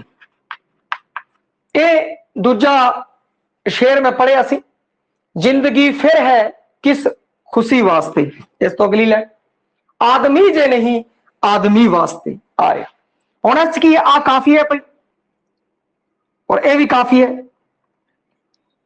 ਖੁਸ਼ੀ ਆਦਮੀ ਈ ਕਾਫੀ ਹੈ ਇੱਥੇ ਕਾਫੀਆ ਕੀ ਹੈ ਈ ਈ ਕਾਫੀ ਹੈ ਖੁਸ਼ੀ ਆਦਮੀ ਈ ਕਾਫੀ ਹੈ ਬਾਰ-ਬਾਰ ਹੋ ਰਿਹਾ ਹੋਰ ਪਹਿਲੀ ਜਿਹੜੀ ਪਹਿਲਾ ਜਿਹੜਾ ਸ਼ੇਰ ਹੈ, ਜਿਹਨੂੰ ਮਕਤਾ ਕਹਿੰਦੇ ਆਉਂਦੀ ਹੈ, ਖਾਸੀਅਤ ਹੁੰਦੀ ਹੈ, ਕਾਫੀ ਰਦੀਫ ਦੋਨੋਂ ਬਾਰ ਰਿਪੀਟ ਹੋ ਰਿਹਾ ਹੈ। ਖੁਸ਼ੀ ਵਾਸਤੇ, ਆਦਮੀ ਵਾਸਤੇ ਦੋਨੋਂ ਬਾਰ ਰਿਪੀਟ ਹੋ ਰਿਹਾ ਹੈ। ਮਤਲਬ ਇਹ ਮਕਤਾ ਹੈ। ਅਗਲੇ ਸ਼ੇਰ ਅੰਦਰ ਐਵੇਂ ਨਹੀਂ ਹੋਊਗਾ ਬਾਈ। ਫਿਰ ਉਸ ਤੋਂ ਬਾਅਦ ਜਿੰਨੇ ਵੀ ਸ਼ੇਰ ਆਣਗੇ, ਉਸ ਚ ਕਾਫੀਆ ਰਦੀਫ ਹੈ ਜਿਹੜਾ ਦੋਨਾਂ ਮਿਸ਼ਰਿਆਂ ਦੇ ਅੰਦਰ, ਸ਼ੇਰ ਦੇ ਅੰਦਰ, ਦੋਨਾਂ ਤੁਕਾਂ ਦੇ ਅੰਦਰ, ਦੋਨਾਂ ਮਿਸ਼ਰਿਆਂ ਦੇ ਅੰਦਰ ਰਿਪੀਟ ਨਹੀਂ ਹੋਵੇਗਾ ਭਾਈ ਅਗਲਾ ਦੇਖ ਲਓ। ਤੂੰ ਕਰਨਾ ਦੂਰ ਸਾਨੂੰ, ਇੱਥੇ ਦੇਖ ਲਓ। ਕਾਫੀਆ ਰਦੀਫ ਰਿਪੀਟ ਨਹੀਂ ਹੋਇਆ ਭਾਈ। ਅੱਗੇ ਰਿਪੀਟ ਹੋ ਰਿਹਾ, ਆਪਾਂ ਕਰੀਬ ਚੰਗੇ। ਇਸ ਸ਼ੇਰ ਦੇ ਅੰਦਰ, ਇੱਥੇ ਕਰੀਬ ਚੰਗੇ ਆਇਆ ਪਰੰਤੂ ਇੱਥੇ ਤੁਕਾਂਤ ਮਿਲ ਨਹੀਂ ਹੋਇਆ। ਇਸ ਤੋਂ ਪਤਾ ਲੱਗ ਗਿਆ ਕਿ ਆ ਜਿਹੜਾ ਹੈ, ਅਗਲਾ ਸ਼ੇਰ ਹੈ ਔਰ ਅਗਲੇ ਸ਼ੇਰ ਦੇ ਅੰਦਰ ਜਿਹੜਾ ਆ ਤੁਕ ਹੈ ਆ ਮਿਸ਼ਰਾ ਹੈ, ਇਸ ਦੇ ਵਿੱਚ ਕਾਫੀਆ ਰਦੀਫ ਨਹੀਂ ਮਿਲਿਆ। ਇਸ ਤੋਂ ਜਿਹੜੀ ਅਗਲੀ ਤੁਕ ਹੈ, ਉਸ ਦੇ ਵਿੱਚ ਕਾਫੀਆ ਰਦੀਫ ਮਿਲ ਰਿਹਾ ਹੈ। ਇੱਥੋਂ ਆਪਾਂ ਨੂੰ ਇਹ ਅੰਤਰ ਪਤਾ ਲੱਗ ਗਿਆ ਵੀ ਇਸ ਦੇ ਵਿੱਚ ਇਹ ਮਕਤਾ ਹੈ। ਮਕਤੇ ਵਿੱਚ ਕਾਫੀਆ ਤੇ ਰਦੀਫ ਦੋਨੋਂ ਵਾਰ ਰਿਪੀਟ ਹੋ ਰਿਹਾ ਹੈ। ਦੋਨੋਂ ਬਾਰ ਰਿਪੀਟ ਹੋ ਰਿਹਾ ਹੈ। ਇੱਥੇ ਦੇਖੋ, ਦੋਨੋਂ ਵਾਰ ਰਿਪੀਟ ਹੋ ਰਿਹਾ ਕੋਈ ਗਜ਼ਲ ਪੜ੍ਹ ਲਿਓ ਭਾਈ। ਠੀਕ ਹੈ? ਕੋਈ ਵੀ ਗਜ਼ਲ ਪੜ੍ਹ ਲਿਓ। ਉਸ ਦੇ ਵਿੱਚ ਇਹ ਰਿਪੀਟ ਹੋਵੇਗਾ, ਪਰੰਤੂ ਉਹ ਮੈਂ ਦੱਸਿਆ ਬਈ ਉਸ ਗਜ਼ਲ ਦੀ ਕੀ ਹੈ? ਮੁਅੱਦਸ ਹੋਣੀ ਚਾਹੀਦੀ ਹੈ। ਉਸ ਦੇ ਵਿੱਚ ਕਾਫੀਆ ਤੇ ਰਦੀਫ ਦੋਨੋਂ ਮਿਲਦੇ ਆ ਮੁਕੱਫਾ ਚੀਜ਼ਾਂ ਨਹੀਂ ਹੁੰਦਾ। ਠੀਕ ਹੈ? ਤੇ ਆਪਾਂ ਨੂੰ ਸ਼ੁਰੂਆਤ ਪਤਾ ਲੱਗ ਗਿਆ। ਆਪਾਂ ਨੂੰ ਮਤਲਬ ਬਾਰੇ ਪਤਾ ਲੱਗ ਗਿਆ। ਮਤਲਬ ਤੋਂ ਬਾਅਦ ਅਗਲਾ ਸ਼ੇਰ ਚੱਲ ਗਿਆ ਭਾਈ। ਉਸ ਤੋਂ ਅਗਲਾ ਸ਼ੇਰ ਪੜ੍ਹ ਲਓ, ਉਸ ਦੇ ਵਿੱਚ ਵੀ ਦੇਖੋ। ਧਨਵਾਨ ਤੋਂ ਕੀ ਲੈਣਾ? ਸਾਨੂੰ ਗਰੀਬ ਚੰਗੇ ਆ ਦੇਖੋ ਗਰੀਬ ਚੰਗੇ, ਇੱਥੇ ਕਾਫੀ ਰਦੀਫ ਮਿਲ ਰਿਹਾ, ਇੱਥੇ ਨਹੀਂ ਮਿਲ ਰਿਹਾ। ਆ ਉਸ ਤੋਂ ਅਗਲਾ ਸ਼ੇਰ ਹੈ ਭਾਈ। ਉਸ ਤੋਂ ਅਗਲਾ ਸ਼ੇਰ ਹੈ। ਫਿਰ ਉਸ ਤੋਂ ਚਾਨਣ ਜੇ ਵੰਡਦੇ ਹਨ, ਉਹ ਹਨ ਅਦੀਬ ਚੰਗੇ। ਇੱਥੇ ਦੇਖੋ ਬਈ ਤੁਕਾਂਤ ਮਿਲ ਨਹੀਂ ਹੋ ਰਿਹਾ। ਔਰ ਇੱਥੇ ਹੋ ਰਿਹਾ ਅਗਲੀ ਲਾਈਨ। ਮਤਲਬ ਇੱਕ ਮਿਸ਼ਰਾ ਛੱਡ ਕੇ ਉਸ ਤੋਂ ਅਗਲੇ ਮਿਸ਼ਰੇ ਚ, ਇੱਕ ਮਿਸ਼ਰਾ ਛੱਡ ਕੇ ਉਸ ਤੋਂ ਅਗਲੇ ਮਿਸ਼ਰੇ ਹਰ ਸ਼ੇਰ ਦਾ ਹਰ ਸ਼ੇਰ ਦੇ ਵਿੱਚ ਕੀ ਹੋਏਗਾ? ਦੋ ਤੁਕਾਂ ਹੋਣਗੀਆਂ ਜਿਹਨੂੰ ਮਿਸਰੇ ਆਖਦੇ ਹੈ ਔਰ ਉਹਦੀ ਜਿਹੜਾ ਪਹਿਲਾ ਸ਼ੇਰ ਹੋਏਗਾ ਕਾਫੀਆ ਰਦੀਫ ਮਿਲੇਗਾ। ਉਸ ਤੋਂ ਬਾਅਦ ਜਿੰਨੇ ਵੀ ਸ਼ੇਰ ਆਣਗੇ, ਉਹਦਾ ਜਿਹੜਾ ਦੂਜਾ ਮਿਸ਼ਰਾ ਹੋਏਗਾ, ਉਹਦੇ ਵਿੱਚ ਕਾਫੀਆ ਰਦੀਫ ਮਿਲੇਗਾ। ਉਸ ਦਾ ਜਿਹੜਾ ਪਹਿਲਾ ਮਿਸ਼ਰਾ ਹੋਵੇਗਾ ਉਹਦੇ ਵਿੱਚ ਕਾਫੀਆ ਰਦੀਫ ਨਹੀਂ ਮਿਲੇਗਾ ਭਾਈ। ਇਸ ਤਰੀਕੇ ਨਾਲ ਚੱਲਦਾ ਜਾਵੇਗਾ ਭਾਈ। ਅਖੀਰਲਾ ਜਿਹੜਾ ਸ਼ੇਰ ਹੈ ਉਸ ਨੂੰ ਆਖਦੇ ਆ ਮਤਲਾ, ਮਕਤਾ ਬਈ। ਮਕਤਾ ਮੁਕਤ ਤੋਂ ਯਾਦ ਰੱਖ ਲਿਓ ਬਈ। ਅਖੀਰਲਾ ਸ਼ੇਰ ਹੈ ਮਕਤਾ। ਇਹਨੂੰ ਮਕਤੇ ਨੂੰ ਮੁਕਤ ਬਈ, ਮੁਕਤ ਹੋ ਗਈ, ਹੁਣ ਬਸ ਖਤਮ ਹੋ ਗਈ ਗੱਲ। ਯਾਦ ਕਰਨਾ ਤੇ ਟ੍ਰਿਕ ਦੱਸੀ ਹੈ। ਮਕਤਾ। ਬਈ ਮਤਲਾ ਮਕਤਾ ਕੋਈ ਨਾ ਚੱਕਰਾਂ 'ਚ ਫਸ ਨਾ ਜਾਓ, ਇਸ ਲਈ ਮੁਕਤ ਯਾਦ ਕਰ ਲਿਓ, ਮੁਕਤ। ਬੋਲੋ, ਅਖੀਰਲੀ ਸ਼ੇਰ ਹੈ, ਮੁਕਤ ਹੋ ਗਈ ਬਈ, ਗੱਲ ਖਤਮ ਹੋ ਗਈ। ਮਕਤਾ। ਅੰਤਲੇ ਸ਼ੇਰ ਨੂੰ ਮਕਤਾ ਕਹਿੰਦੇ ਹੈ। ਗਜ਼ਲ ਦੇ ਅੰਦਰ ਸ਼ੇਰ ਵਿੱਚ ਕਵੀ ਆਪਣੇ ਉਪਨਾਮ, ਕਲਮੀ ਨਾਮ ਜਾਂ ਤਖੱਲਸ ਹੈ ਜੋ ਵਰਤਦਾ ਹੈ। ਜਿਵੇਂ ਪਾਤਰ ਸ਼ਬਦ ਦੀਆਂ ਜਿੰਨੀਆਂ ਵੀ ਗਜ਼ਲਾਂ ਅਖੀਰ ਦੇ ਵਿੱਚ ਉਹ ਕਹਿੰਦਾ ਪਾਤਰ। ਪਾਤਰ ਅਖੀਰ ਦੇ ਵਿੱਚ ਬਦਲਦਾ ਹੈ। ਇਸ ਤੋਂ ਇਲਾਵਾ ਜਿਵੇਂ ਆ ਸਾਹਮਣੇ ਗਜ਼ਲ ਲਿਖੀ ਹੋਈ ਹੈ, ਇਸ ਦੇ ਅੰਦਰ ਦੇਖੋ, ਨਿਰਮਲ ਜੋ ਵਸਲ ਮਾਨਣ, ਸਾਥੋਂ ਰਕੀਬ ਚੰਗੇ ਇੱਥੇ ਨਿਰਮਲ ਹੈ, ਉਸ ਲਖਾਰੀ ਦਾ ਨਾਮ ਹੈ ਭਾਈ। ਇੱਥੋਂ ਪਤਾ ਲੱਗ ਗਿਆ ਕਿ ਇਹ ਅਖੀਰਲਾ ਸ਼ੇਰ ਹੈਗਾ, ਕਿਉਂਕਿ ਇਸ ਸ਼ੇਰ ਦੇ ਅੰਦਰ ਰਾਈਟਰ ਦਾ ਨਾਮ ਹੈ, ਨਾਮ ਹੋ ਸਕਦਾ ਹੈ ਤਖੱਲਸ, ਉਪਨਾਮ ਕੁਝ ਵੀ ਹੋ ਸਕਦਾ ਹੈ ਭਾਈ। ਇੱਥੋਂ ਆਪਾਂ ਨੂੰ ਪਤਾ ਲੱਗ ਗਿਆ ਔਰ ਇਸੇ ਕਾਰਨ ਇਹ ਕੀ ਹੈ? ਮਕਤਾ ਹੈ। ਮਕਤਾ ਅਰਬੀ ਭਾਸ਼ਾ ਦਾ ਸ਼ਬਦ ਹੈ ਜਿਸ ਦਾ ਅਰਥ ਹੈ ਕਟਿਆ ਹੋਇਆ। ਸ਼ਬਦ ਅਰਥ ਦੱਸਿਆ ਕਟਿਆ ਹੋਇਆ। ਪਰ ਗਜ਼ਲ ਵਿੱਚ ਮਕਤੇ ਤੋਂ ਭਾਵ ਹੈ ਉਹ ਸ਼ੇਰ ਜੋ ਗਜ਼ਲ ਦੀ ਸਮਾਪਤੀ ਵਜੋਂ ਰਚਿਆ ਜਾਂਦਾ ਹੈ। ਕਹਾਣੀ ਖਤਮ। ਉਸ ਤੋਂ ਬਾਅਦ ਅੱਗੇ ਗਜ਼ਲ ਨਹੀਂ ਤੁਰੇਗੀ। ਜਿਸ ਵਿੱਚ ਸ਼ੇਰ ਦਾ ਤਖੱਲਸ, ਉਪਨਾਮ ਜਾਂ ਕਲਬੀ ਨਾਮ ਹੋਵੇਗਾ। ਰਚਨਾਕਾਰ ਦਾ ਕੁਝ ਤਾਂ ਇਹਨੂੰ ਲਾਜ਼ਮੀ ਅੰਗ ਮੰਨਦੇ ਆ, ਪਰ ਕੁਝ ਕਹਿੰਦੇ ਆ ਜ਼ਰੂਰੀ ਨਹੀਂ ਹੈ। ਕਈ ਵਾਰ ਗਜ਼ਲ ਇਹਦੀ ਵੀ ਹੁੰਦੀ ਹੈ ਵੀ ਇੱਥੇ ਖਤਮ ਹੋ ਜਾਂਦੀ ਹੈ ਉਸ ਤੋਂ ਬਾਅਦ ਉਹਦੇ ਵਿੱਚ ਮਕਤਾ ਹੁੰਦਾ ਹੀ ਨਹੀਂ। ਕਈ ਕਹਿੰਦੇ ਜਿਹੜਾ ਮਕਤਾ ਉਹ ਲਾਜ਼ਮੀ ਹੈ, ਕਈ ਕਹਿੰਦੇ ਲਾਜ਼ਮੀ ਨਹੀਂ, ਪਾਬੰਦੀ ਨਹੀਂ ਹੈ। ਹੁਣ ਇੱਕ ਹੋਰ ਮਕਤਾ ਮੈਂ ਪੜ੍ਹ ਦਿੰਨਾ ਰੋਜ਼ ਤਰਸੇਮ ਤਾਂ ਸਾਰੇ ਬ੍ਰਹਮੰਡ ਚੋਂ ਭਾਲ ਦਾ ਮਹਿਕ ਨਿਤ ਦੋਸਤੀ ਵਾਸਤੇ। ਇਸੀ ਦੀ ਦੇਖੋ ਬਈ ਇਸੀ ਦਾ ਖੁਸ਼ੀ ਵਾਸਤੇ, ਆਦਮੀ ਵਾਸਤੇ, ਇਸੀ ਦਾ ਆਖਰੀ ਹੈ ਜਿਹੜਾ, ਰੋਜ਼ ਤਰਸੇਮ, ਤਾਂ ਸਾਰੇ ਬ੍ਰਹਮੰਡ ਚੋਂ ਭਾਲਦਾ ਮਹਿਕ, ਨਿਤ ਦੋਸਤੀ ਵਾਸਤੇ ਤਰਸੇਮ ਇੱਥੇ ਨਾਮ ਆ ਗਿਆ ਬਈ ਤਰਸੇਮ, ਕਵੀ ਦਾ ਨਾਮ ਆ ਗਿਆ, ਜਿਸ ਦੀ ਹਾਜ਼ਰੀ ਨਾਲ ਇਹ ਸ਼ੇਰ ਹੈ ਜਿਹੜਾ ਮਕਤਾ ਬਣ ਗਿਆ ਪਈ। ਐਵੇਂ ਇਸ ਦੇ ਵਿੱਚ ਨਿਰਮਲ ਆ ਗਿਆ ਪਈ। ਇਸ ਦੀ ਹਾਜ਼ਰੀ ਨਾਲ ਆ ਜਿਹੜਾ ਸ਼ੇਰ ਹੈ, ਉਹ ਮਕਤਾ ਬਣ ਗਿਆ। ਹੁਣ ਕੀ ਹੈ ਕਿ ਇੱਕ ਸਾਰੇ ਜਿਹੜੇ ਸ਼ੇਰ ਹੈ, ਜਿਹੜਾ ਸ਼ੇਰ ਸਭ ਤੋਂ ਮਸ਼ਹੂਰ ਹੈ ਭਈ, ਜਿਹੜਾ ਸ਼ੇਰ ਸਭ ਤੋਂ ਮਸ਼ਹੂਰ ਹੋਵੇ, ਉਹਨੂੰ ਸ਼ਾਹ ਬੈਤ ਕਹਿੰਦੇ ਆ, ਸ਼ਾਹ ਬੈਤ। ਕਿਉਂਕਿ ਬੈਤਬਾਜੀ ਵੀ ਚਲਦੀ ਸੀ ਨਾ ਪਹਿਲਾਂ, ਤਾਂ ਕਰਕੇ ਉਸ ਨੂੰ ਕਹਿੰਦੇ ਆ ਸ਼ਾਹ ਬੈਤ। ਸ਼ਾਹ ਹੁੰਦਾ ਹੈ ਭਈ ਉਹ। ਗਜ਼ਲ ਦਾ ਇਹ ਸ਼ੇਰ ਸ਼ਾਹ ਬੈਤ ਦਾ ਦਰਜਾ ਰੱਖਦਾ ਹੈ। ਇਸ ਦੇ ਵਿੱਚ ਤੂੰ ਕਰ ਨਾ ਦੂਰ ਸਾਨੂੰ, ਆਪਾਂ ਕਰੀਬ ਚੰਗੇ ਆ ਰਹੇ ਤੂੰ ਕਰ ਨਾ ਦੂਰ ਸਾਨੂੰ, ਆਪਾਂ ਕਰੀਬ ਚੰਗੇ ਆ ਸ਼ਾਹ ਬੈਤ ਸਭ ਤੋਂ ਵਧੀਆ ਸੱਤ ਰਹਿੰਦੀ ਪਈ, ਸਾਨੂੰ ਦੂਰ ਨਾ ਕਰ ਕਰੀ। ਸ਼ਾਹ ਬੈਤ ਬਾਰੇ ਪੁੱਛ ਸਕਦਾ ਹੈ, ਪਰੰਤੂ ਐਵੇਂ ਪੁੱਛਣ ਦੀ ਬਹੁਤ ਹੀ ਘੱਟ ਸੰਭਾਵਨਾ ਹੈ ਕਿ ਛਾਂਟੋ ਬਈ ਸ਼ਾਹ ਬੈਤ ਕਿਹੜਾ ਹੈ। ਬਹੁਤ ਘੱਟ ਸੰਭਾਵਨਾ ਹੈ। ਹਾਂ, ਸ਼ਾਹ ਬੈਤ ਪੁੱਛ ਸਕਦਾ ਹੈ ਬਈ, ਜਿਹੜਾ ਸਭ ਤੋਂ ਵਧੀਆ, ਉੱਤਮ ਸ਼ੇਰ ਹੈ ਜਿਹੜਾ। ਉੱਤਮ ਸ਼ੇਰ ਸਭ ਤੋਂ ਵਧੀਆ ਸ਼ੇਰ ਹੈ ਜਿਹੜਾ। ਉਹ ਸਾਬੇਤ ਹੈ, ਬੱਬਰ ਸ਼ੇਰ ਜਿਹਨੂੰ ਆਪਾਂ ਕਹਿ ਲਈਏ। ਉਹ ਹੈ ਸ਼ਾਬੈਤ। ਗਜ਼ਲ ਦੀ ਸਰਚਨਾ ਦੀ ਇੱਕ ਵਿਸ਼ੇਸ਼ਤਾ ਇਹ ਵੀ ਹੈ ਕਿ ਇਸ ਵਿੱਚ ਸਪਸ਼ਟ ਬਿਆਨ ਦੀ ਥਾਂ ਸੰਕੇਤ, ਕਿਸੇ ਰਮਜ਼ ਨਾਲ ਗੱਲ ਦਾ ਹੋਣਾ ਜ਼ਰੂਰੀ। ਸਿੱਧੀ ਸਪਾਟ ਗੱਲ ਦੀ ਗਜ਼ਲ ਚ ਕਰੋਗੇ, ਭਾਵੇਂ ਕਵਿਤਾ ਹੋਵੇ, ਭਾਵੇਂ ਗਜ਼ਲ ਹੋਵੇ, ਗੱਲ ਗਜ਼ਲ ਦੀ ਕਰੇ, ਗਜ਼ਲ ਚ ਕਰੋਗੇ, ਤਾਂ ਫਿਰ ਉਹ ਨਜ਼ਾਰੇ ਨਹੀਂ ਆਣੇ ਇਹ ਪ੍ਰਤੱਖ ਰੂਪ ਚ ਗੱਲ ਕਹਿਣੀ। ਇਸ ਵਿੱਚ ਰੰਗ ਬਿਆਨੀ, ਮੁਲਾਇਮ ਬੰਦੀ, ਸੌਖੀ ਚੋਟ ਸਹਜਤਾ ਸਰਲਤਾ ਇਹ ਗੁਣ ਹੋਣੇ ਚਾਹੀਦੇ ਹੈ ਗਜ਼ਲ ਦੇ ਅੰਦਰ ਇਹ ਸੀ ਭਾਈ ਗਜ਼ਲ ਤਕਨੀਕੀ ਪੱਖੋਂ ਆਪਾਂ ਇਹਨੂੰ ਚੰਗੀ ਤਰ੍ਹਾਂ ਵੇਖਿਆ ਇੱਕ ਵਾਰ ਹੋਰ ਮੈਂ ਤੁਹਾਨੂੰ ਦੱਸ ਦਿੰਨੇ ਜਿਹੜੀ ਗਜ਼ਲ ਹੈ ਉਹਦੀ ਤਕਨੀਕ ਦੇ ਬਾਰੇ ਆਪਾਂ ਗੱਲ ਕਰ ਰਹੇ ਹਾਂ ਸੰਖੇਪ ਰੂਪ ਦੇ ਵਿੱਚ ਦੱਸ ਦਵਾਂ ਕਿ ਜਿਹੜਾ ਪਹਿਲਾ ਸ਼ੇਰ ਹੁੰਦਾ ਹੈ ਸ਼ੇਰ ਕਿਹਨੂੰ ਕਹਿੰਦੇ ਆ ਦੋ ਤੁਕਾਂ ਦਾ ਦੋ ਤੁਕਾਂ ਦਾ ਜਿਹੜਾ ਬੰਦ ਹੈ ਉਸ ਨੂੰ ਸ਼ੇਰ ਕਹਿੰਦੇ ਆ ਔਰ ਤੁਕ ਨੂੰ ਗਜ਼ਲ ਦੇ ਅੰਦਰ ਮਿਸਰਾ ਕਹਿੰਦੇ ਆ।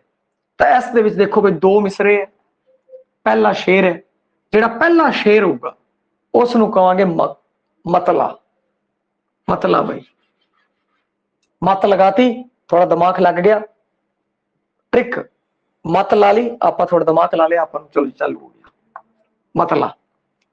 ਉਸ ਤੋਂ ਇਹਦਾ ਕੀ ਹੋਗਾ ਮਤਲੇ ਦਾ ਕਾਫੀਆ ਤੇ ਰਦੀਫ ਦੋਨੋਂ ਮਿਲਦੀ ਹੋਣਗੇ ਹੁਣ ਕਾਫੀਆ ਕੀ ਹੈ ਕਾਫੀਆ ਤੁਕਾਂਤ ਮੇਲ ਹੈ ਜਿਹੜਾ ਕਿ ਰਦੀਫ ਤੋਂ ਪਹਿਲਾਂ ਆਂਦਾ ਹੈ ਔਰ ਹਰ ਵਾਰ ਉਹ ਸ਼ਬਦ ਹੈ ਨਾ ਜਿਹੜਾ ਬਦਲ ਜਾਂਦਾ ਹੈ ਭਾਈ ਹਰ ਵਾਰ ਸ਼ਬਦ ਬਦਲ ਜਾਏਗਾ ਕਾਫੀਆ ਨਹੀਂ ਬਦਲੇਗਾ ਸ਼ਬਦ ਬਦਲ ਜਾਏਗਾ ਜਿਵੇਂ ਇੱਥੇ ਹਬੀਬ ਹੈ ਇੱਥੇ ਈਬ ਹੈ ਕਾਫੀਆ ਤਾਂ ਉਹੀ ਹੈ ਪਰੰਤੂ ਸ਼ਬਦ ਬਦਲ ਗਿਆ ਹਬੀਬ ਨਸੀਬ ਕਰੀਬ ਗਰੀਬ ਇਹ ਕਾਫੀ ਹੈ ਔਰ ਰਦੀਫ ਰਦੀਫ ਕਾਫੀਏ ਤੋਂ ਬਾਅਦ ਚਾਵੇਗਾ ਔਰ ਸਥਿਰ ਰਹੇਗਾ ਜਿਵੇਂ ਚੰਗੇ ਚੰਗੇ ਚੰਗੇ ਹੁਣ ਚੰਗੇ ਪੰਗੇ ਟੰਗੇ ਕੰਗੇ ਆ ਨਹੀਂ ਕਰੂਗਾ ਜੇ ਆ ਕਰੂਗਾ ਤਾਂ ਇਹ ਕਾਫੀਆ ਬਣ ਜਾਏਗਾ ਇਹ ਚੰਗਾ ਚੰਗਾ ਚੰਗਾ ਬਸ ਆ ਹੀ ਰਹੂਗਾ ਇਹ ਰਦੀਫ ਹੈ ਬਾਅਦ ਚਾਹੁੰਦਾ ਔਰ ਸਥਿਰ ਹੈ ਪਹਿਲੇ ਸ਼ੇਰ ਨੂੰ ਮਤਲਾ ਬਾਅਦ ਵਾਲੇ- ਬਾਅਦ ਵਾਲੇ ਜਿੰਨੇ ਵੀ ਸ਼ੇਰ ਹੋਣਗੇ ਜਿੰਨੇ ਵੀ ਸ਼ੇਰ ਹੋਣਗੇ ਬਾਅਦ ਵਾਲੇ ਉਹਨਾਂ ਵਿੱਚ ਦੋ ਮਿਸਰੇ ਦੋ ਤੁਕਾਂ ਹੋਣਗੀਆਂ ਔਰ ਦੂਜੀ ਤੁਕ ਦੇ ਅੰਦਰ ਕਾਫੀਆ ਰਦੀਫ ਮਿਲੇਗਾ ਪਹਿਲੀ ਵਿੱਚ ਨਹੀਂ ਮਿਲੇਗਾ ਦੂਜੀ ਤੁਕ ਚ ਕਾਫੀ ਰਦੀਫ ਮਿਲੇਗਾ। ਐਵੇਂ ਕਰਦੇ ਕਰਦੇ ਜਿਹੜੀ ਆਖਰੀ ਤੁਕ ਹੋਵੇਗੀ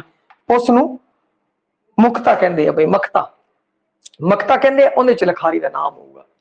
ਇੰਨੀ ਜੀ ਗੱਲ ਹੈ ਬਸ, ਗਜ਼ਲ ਦੇ ਅੰਦਰ ਭਾਈ ਹੁਣ ਆਪਾਂ ਗੱਲ ਕਰਦੇ ਹਾਂ ਗੀਤ ਦੀ। ਗੀਤ ਬੜੇ ਸੁਣੇ ਆ ਬਈ ਤੁਸੀਂ। ਬੜੇ ਗੀਤ ਸੁਣੇ ਹੋਣੇ ਆ। ਉਹਨਾਂ ਗੀਤਾਂ ਨੂੰ ਤੁਸੀਂ ਗੌਰ ਤਾਂ ਕਰਦੇ ਹੀ ਹੋ। ਬਸ ਹੁਣ ਉਹਨਾਂ ਦੀ ਹੀ ਗੱਲ ਆ ਰਹੀ ਹੈ। ਇੰਨੇ ਗੀਤਾਂ ਨੂੰ ਆਪਾਂ ਸੁਣਿਆ। ਹੋਰ ਜੇ ਕਿਤੇ ਇਹਨਾਂ ਦੀ ਪਰਿਭਾਸ਼ਾ ਕੱਢਣੀ ਪਵੇ ਤਾਂ ਆਪਾਂ ਨੂੰ ਦਿੱਕਤ ਆ ਜੂਗੀ ਭਈ ਉਹ ਦਿੱਕਤ ਆਪਾਂ ਨੂੰ ਨਹੀਂ ਆਣੀ ਚਾਹੀਦੀ ਕਿਉਂਕਿ ਆਪਾਂ ਇਹਨੇ ਗੀਤ ਸੁਣਿਆ ਹੁਣ ਆਪਾਂ ਪਰਿਭਾਸ਼ਾ ਕਰਨੀ ਹੈ ਤਾਂ ਆਪਾਂ ਮਿੰਟ 'ਚ ਕਰ ਦਾਂਗੇ। ਇਹ ਆਪਣੇ ਅੰਦਰ ਅਹ, ਤੁਹਾਡੇ ਅੰਦਰ ਛਮਤਾ ਹੋਣੀ ਚਾਹੀਦੀ ਹੈ ਬਈ ਪੈਦਾ। ਕਿਉਂਕਿ ਵਿਸ਼ਲੇਸ਼ਣ ਵਾਲੇ ਪ੍ਰਸ਼ਨ ਆਣ ਤਾਂ ਕਿਸੇ ਦੀ ਪਰਿਭਾਸ਼ਾ ਕਰਨੀ ਹੈ ਜਾਂ ਇਸ ਤੋਂ ਸੰਬੰਧਿਤ ਇਹ ਹੋ ਸਕਦਾ ਹੈ। ਆ ਇਸ ਤੋਂ ਸੰਬੰਧ ਇਹ ਸ਼ਬਦ ਇਸ ਤੋਂ ਸੰਬੰਧਿਤ ਹੋ ਸਕਦਾ ਹੈ ਉਹ ਕਿਸ ਤਰ੍ਹਾਂ ਆਵੇਗਾ ਕਿਉਂਕਿ ਉਹਦੇ ਬਾਰੇ ਆਪਾਂ ਜਾਣੂ ਹੋ ਜਾਾਂਗੇ ਕਿਸੇ ਚੀਜ਼ ਬਾਰੇ ਆਪਾਂ ਚੰਗੀ ਤਰ੍ਹਾਂ ਜਾਣੂ ਹੋਗੇ ਜਿਵੇਂ ਗੀਤ ਤੋਂ ਆਪਾਂ ਚੰਗੀ ਤਰ੍ਹਾਂ ਜਾਣੂ ਹਾਂ ਤਾਂ ਉਸ ਦੀ ਕੋਈ ਪਰਿਭਾਸ਼ਾ ਅੱਜ ਅਗਲਾ ਜਿਵੇਂ ਮਰਜ਼ੀ ਪੁੱਛ ਲੈ ਬਈ ਆਹ ਗੀਤ ਆ ਆਇਆ ਹੈ ਤਾਂ ਆਪਾਂ ਕਰ ਦੇਣਾ ਚਾਹੀਦਾ ਆਪਾਂ ਨੂੰ ਸਭ ਤੋਂ ਪਹਿਲਾਂ ਗੀਤ ਬਾਰੇ ਕੁਝ ਜਾਣਕਾਰੀ ਲੈਣੇ ਆ ਬਈ ਅੰਤਰਮੁਖੀ ਕਵਤਾ ਹੈ ਗੀਤ ਜਦੋਂ ਕਵੀ ਅੰਤਰਮੁਖੀ ਹੋ ਕੇ ਆਪਣੀ ਪ੍ਰੇਰਣਾ, ਨਿਜਤਾ, ਨਿੱਜੀ ਵਲਵਲਿਆਂ ਨੂੰ ਆਪਣੇ ਅਨੁਭੂਤੀਆਂ, ਵਿਚਾਰਾਂ ਤੇ ਭਾਵਾਂ ਨਾਲ ਜੋੜਦਾ ਹੈ, ਤਾਂ ਉਹ ਗੀਤ ਦੀ ਸਿਰਜਣਾ ਕਰਦਾ ਹੈ। ਤੁਸੀਂ ਗੀਤ ਵਿੱਚ ਵੇਖੇ ਹੋਣੇ ਆ।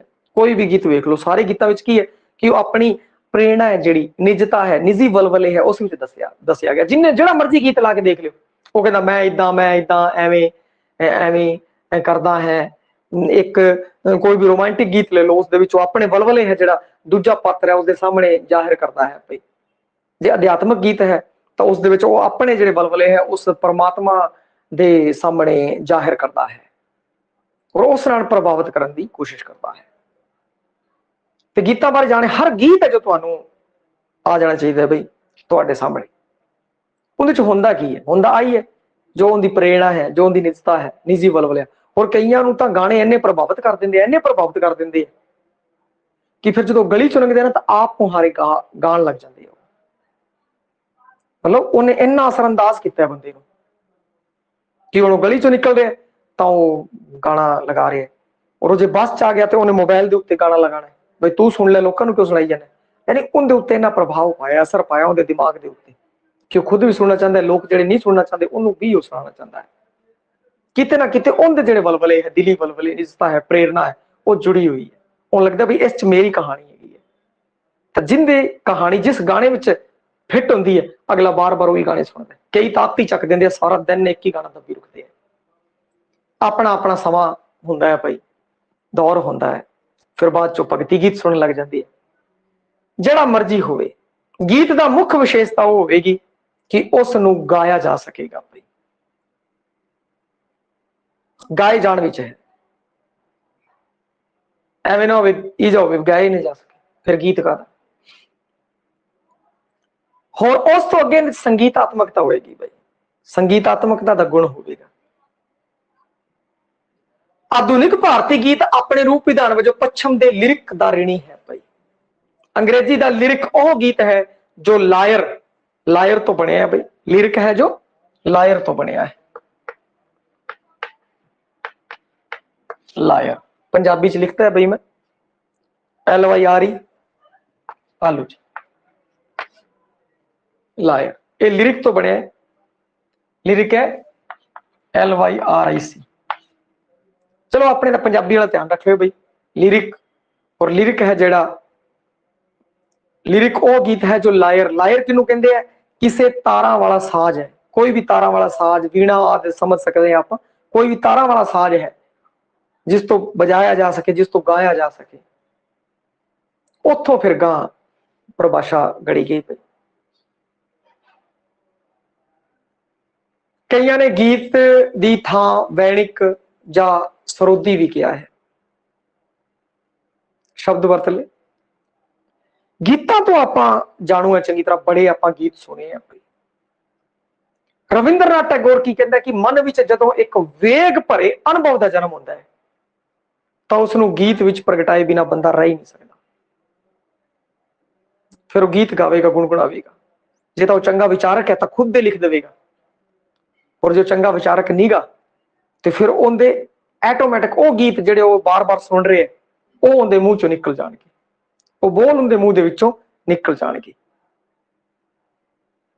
ਤੇ ਹੁਣ ਗੀਤ ਹੈ ਜਿਹੜਾ ਉਸ ਸੰਦਰਭ 'ਚ ਹੀ ਗੱਲ ਕਰਾਂਗੇ ਵੀ ਲਖਾਰੀ ਹੈ ਜਿਹੜਾ, ਉਹ ਕਹਿੰਦਾ ਮਨ ਵਿੱਚ ਜਦੋਂ ਵੇਗ ਆਵੇਗਾ, ਅਨੁਭਵ ਆਏਗਾ, ਵਲਵਲਾ ਪੈਦਾ ਹੋਵੇਗਾ, ਤਾਂ ਫਿਰ ਉਹ ਗੀਤ 'ਚ ਪ੍ਰਗਟ ਜਾਏਗਾ ਔਰ ਉਹ ਗਾ ਉੱਠੇਗਾ ਭਈ ਹੈਗਲ ਕੀ ਕਹਿੰਦਾ ਗੀਤ ਵਿੱਚ ਕਵੀ ਬਾਹਰੀ ਤੱਤਾਂ ਨੂੰ ਆਪਣੇ ਵਿੱਚ ਸਮੇਟ ਕੇ ਉਹਨਾਂ ਨੂੰ ਸਵੈ ਦੇ ਰੰਗ ਵਿੱਚ ਰੰਗਦਾ ਹੈ, ਫਿਰ ਕਾਵ ਰਚਨਾ ਕਰਦਾ ਹੈ। ਇਹ ਹੈਗਲ ਦੀ ਗੱਲ ਵੀ ਸਹੀ ਹੈ। ਬਾਹਰ ਦੀ ਦੁਨੀਆ ਨੂੰ ਕੀ ਕਹਿੰਦੇ ਉਹ ਆਪਣੇ ਸਮੇਟ ਲੈਂਦਾ ਹੈ ਭਾਈ।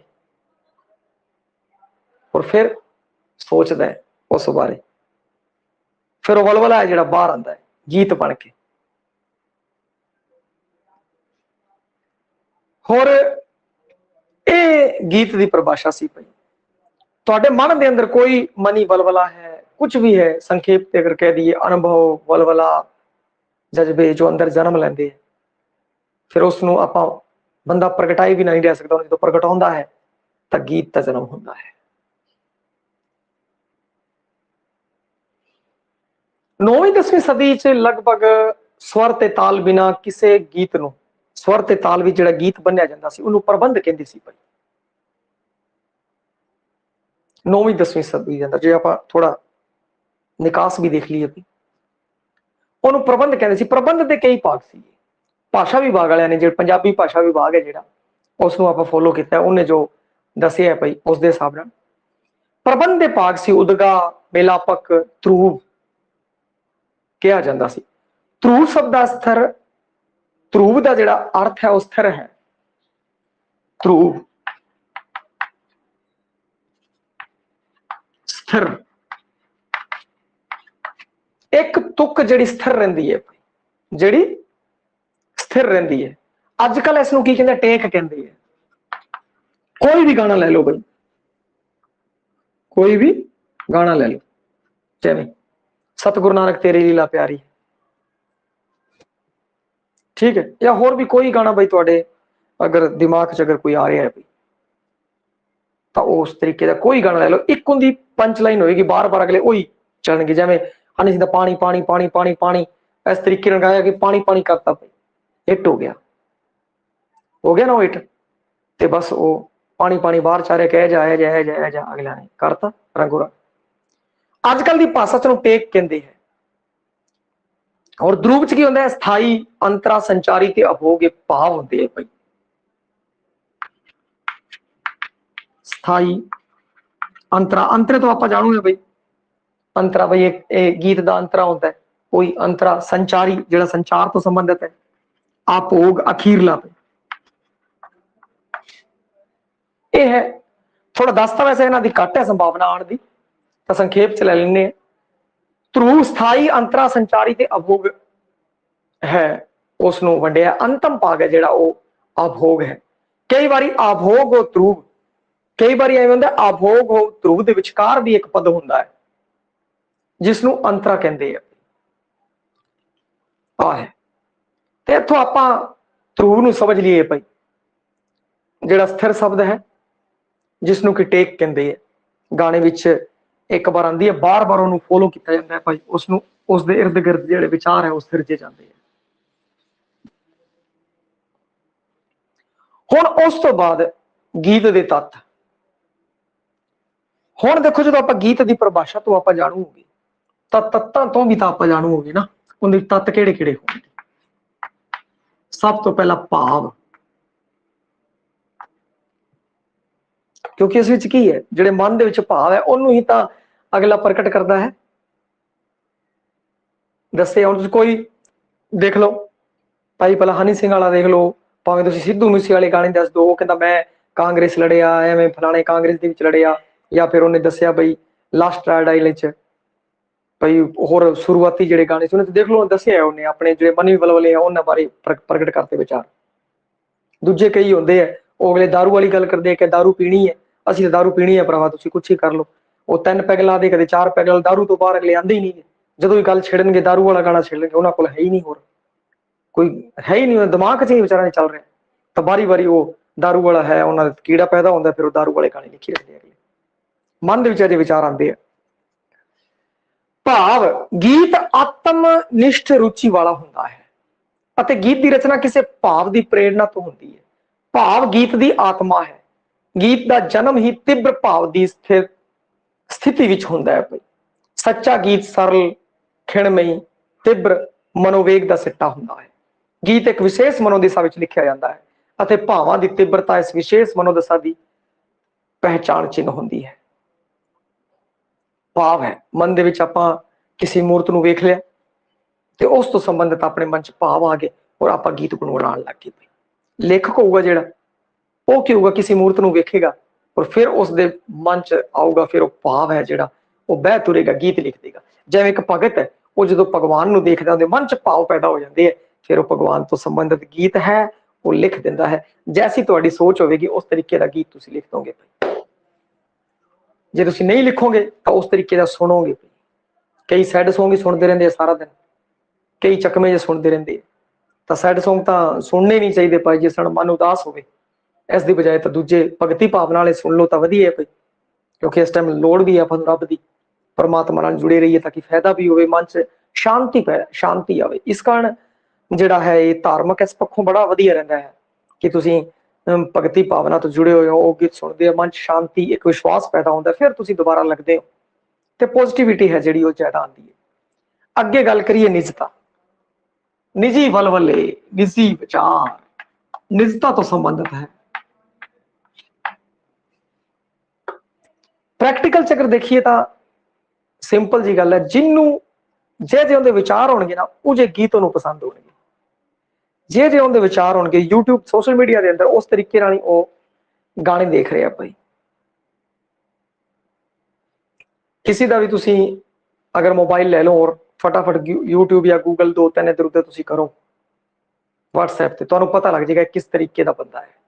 ਇਸੇ ਕਾਰਨ ਲੋਕ ਅੱਜਕੱਲ ਮੋਬਾਈਲ ਦਿੰਦੇ ਨਹੀਂ ਕਿਸੇ ਨੂੰ। ਨਿਜਤਾ ਬਾਹਰੀ ਤੱਤ ਗੀਤ ਵਿੱਚ ਦੁਜੈਲੀ ਭੂਮਿਕਾ ਰੱਖਦੇ ਹਨ ਸਵੈ ਦਾ ਪ੍ਰਗਟਾਵਾ, ਭਾਵਨਾਵਾਂ, ਕਲਪਨਾਵਾਂ, ਗੀਤ ਵਿੱਚ ਪ੍ਰਕਾਸ਼ਨ, ਕਵੀ ਦਾ ਮੁੱਖ ਉਦੇਸ਼ ਹੈ। ਗੀਤ ਵਿੱਚ ਕਵੀ ਆਪਣੀ ਨਿੱਜੀ ਪੀੜ, ਦੁੱਖ, ਦਰਦ, ਖੁਸ਼ੀ, ਗਮੀ, ਆਸਾ, ਨਿਰਾਸ਼ਾ, ਹਰਸ, ਵਿਸਾਦ, ਕਰੁਣਾ, ਦਇਆ, ਗੁੱਸਾ, ਗਲਾਨੀ ਲੱਜਾ ਆਦਿ ਦੇ ਭਾਵ ਵਿਅਕਤ ਕਰਦਾ ਹੈ। ਜੇ ਪਿਆਰ ਚ ਆ ਗਿਆ ਤਾਂ ਪਿਆਰ ਵਾਲਾ ਗੀਤ ਲਿਖਦਾ। ਦੁਖੀ ਹੋ ਗਿਆ, ਸੈਡ Song ਲਿਖਦਾ। ਗੁੱਸਾ ਆ ਗਿਆ, ਤਾਂ ਗੁੱਸੇ ਵਾਲਾ ਨਹੀਂ ਛੱਡਦੇ, ਤੈਨੂੰ ਚੱਕ ਲੋ ਰਫਲਾ ਤੇ, ਲੈ ਲੋ ਫਲਾਣਾ ਟਮਕਾਣਾ, ਇਸ ਤਰੀਕੇ ਨਾਲ। ਉਤਸ਼ਾਹ ਆ ਗਿਆ ਤਾਂ ਉਤਸ਼ਾਹ ਵਾਲੇ ਗੀਤ। ਆ ਜਾਣਗੇ ਬਈ, ਇਨਕਲਾਬ ਜਿੰਦਾਬਾਦ ਤੋਂ ਸੰਬੰਧਿਤ ਕਈ ਗੀਤ ਹੈ, ਬੰਦਾ ਸੁਣਦਾ ਹੈ, ਜੋਸ਼ ਚ ਆ ਜਾਂਦਾ ਹੈ ਭਾਈ ਤੇ ਨਿਜਤਾ ਤੋਂ ਸੰਬੰਧਿਤ ਹੈ ਗੱਲ, ਨਿਜਤਾ ਵੀ ਇਹਦਾ ਭਾਵ ਹੈ। ਫਿਰ ਅੱਗੇ ਸੰਖੇਪਤਾ। ਦੇਖੋ, ਗੀਤ ਹੁੰਦੇ ਨਾ ਸੰਖੇਪ ਹੁੰਦੇ ਹੈ ਵੱਡਾ ਗੀਤ ਹੋਊਗਾ, ਬੰਦਾ ਬੋਰ ਹੀ ਹੋ ਜਾਏਗਾ। ਗੀਤ ਦੀ ਇਹ ਖਾਸੀਅਤ ਹੈ ਭਾਈ, ਤਤ ਹੈ ਇਹਦਾ ਸੰਖੇਪ। ਅੱਜ ਕੱਲ ਤਾਂ ਗੀਤ ਆ ਰਿਹਾ ਸਵਾ 2 ਮਿੰਟ ਦੇ 2 ਮਿੰਟ ਦੇ 2.5 ਮਿੰਟ ਦੇ। ਜੈ ਤੋਂ ਜ਼ਿਆਦਾ ਅਗਰ ਗੀਤ ਦੇਖੀਏ ਤਾਂ ਆਪਾਂ 7 ਮਿੰਟ ਦਾ ਹੁੰਦਾ ਹੈ ਮਸਾਂ। ਇਸ ਤੋਂ ਜ਼ਿਆਦਾ ਵੱਡੇ ਗੀਤ ਅਗਲੇ ਬਣਾਉਂਦੇ ਨਹੀਂ। ਕਿਉਂਕਿ ਪੈਸ਼ਨ ਹੀ ਨਹੀਂਗਾ ਅੱਜ ਕੱਲ ਲੋਕਾਂ 'ਚ।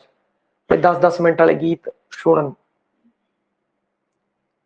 ਤੇ ਇੱਕ ਖਾਸੀਅਤ ਹੋਰ ਕਿ ਸੰਖੇਪ ਤਾਂ ਹੋਣਾ ਬਸ 2.5 ਮਿੰਟ ਹੈ। ਚੱਲਿਆ ਔਰ ਖਤਮ। 2.5 ਮਿੰਟ 3 ਮਿੰਟ 3.5 4 ਮਿੰਟ ਹੋ ਜੇ ਪਏ ਪਰੰਤੂ ਲਗਭਗ ਜਿਹੜਾ ਹੈ 2.5 ਮਿੰਟ ਦਾ ਗੀਤ ਹੈ। ਤਾਂ ਇੱਥੋਂ ਆਪਾਂ ਨੂੰ ਇੱਕ ਚੀਜ਼ ਜਿਹੜੀ ਹੈ, ਉਭਰ ਕੇ ਸਾਹਮਣੇ ਆਈ ਹੈ ਸੰਖੇਪਤਾ। ਜਿਹੜਾ ਵੀ ਇਹਦਾ ਭਾਵ ਹੈ, ਬੜੇ ਹੀ ਸੰਖੇਪ ਰੂਪ ਦੇ ਵਿੱਚ ਉਹਨੇ ਬਿਆਨ ਕਰ ਦੇਣਾ ਹੈ। ਬਹੁਤ ਹੀ ਦੇਰ ਤੱਕ ਜੇ ਉਹ ਭਾਵ ਨੂੰ ਖਿੱਚਦਾ ਤਾਂ ਉਹ ਪ੍ਰਭਾਵਹੀਣ ਬਣ ਜਾਊਗਾ। ਇਸ ਕਾਰਨ ਆਵੇਗ ਦੀ ਪ੍ਰਬਲਤਾ ਭਾਵ ਦੀ ਪ੍ਰਬਲਤਾ, ਗੀਤ ਦੇ ਪ੍ਰਭਾਵ ਨੂੰ ਤਿੱਖਣ ਰੱਖਣ ਲਈ ਜ਼ਰੂਰੀ ਹੈ ਕਿ ਸੰਖੇਪ ਹੋਵੇ। ਉਹ ਉਸ ਦਾ ਫ਼ਰਕ ਪੈਂਦਾ ਹੈ। ਔਰ ਕੋਈ ਵੀ ਭਾਵ ਹੈ ਨਾ, ਜਿੰਨਾ ਤਿੱਖਾ ਹੋਊਗਾ, ਜਿੰਨਾ ਛੋਟਾ ਹੋਊਗਾ, ਜਿੰਨਾ ਤਿੱਖਾ ਹੋਊਗਾ, ਅਸਰ ਉਹਦਾ ਵੱਧ ਹੋਵੇਗਾ। ਜਿੰਨਾ ਲਮਕਾ ਕਰੋਗੇ, ਗਿਆਸਾ ਹੋ ਜਾਏਗਾ ਸਵਾਦ ਨਹੀਂ ਆਣਾ ਸੰਖੇਪਤਾ। ਅੱਗੇ ਫਿਰ ਸੰਗੀਤਾਤਮਕਤਾ ਪਈ। ਸੰਗੀਤਾਤਮਕਤਾ ਇਹਨਾਂ ਸਭ ਤੋਂ ਤੁਸੀਂ ਜਾਣੂ ਹੋ। ਕੋਈ ਨਵਾਂ ਸ਼ਬਦ ਨਹੀਂ ਵਰਤ ਰਿਹਾ ਮੈਂ।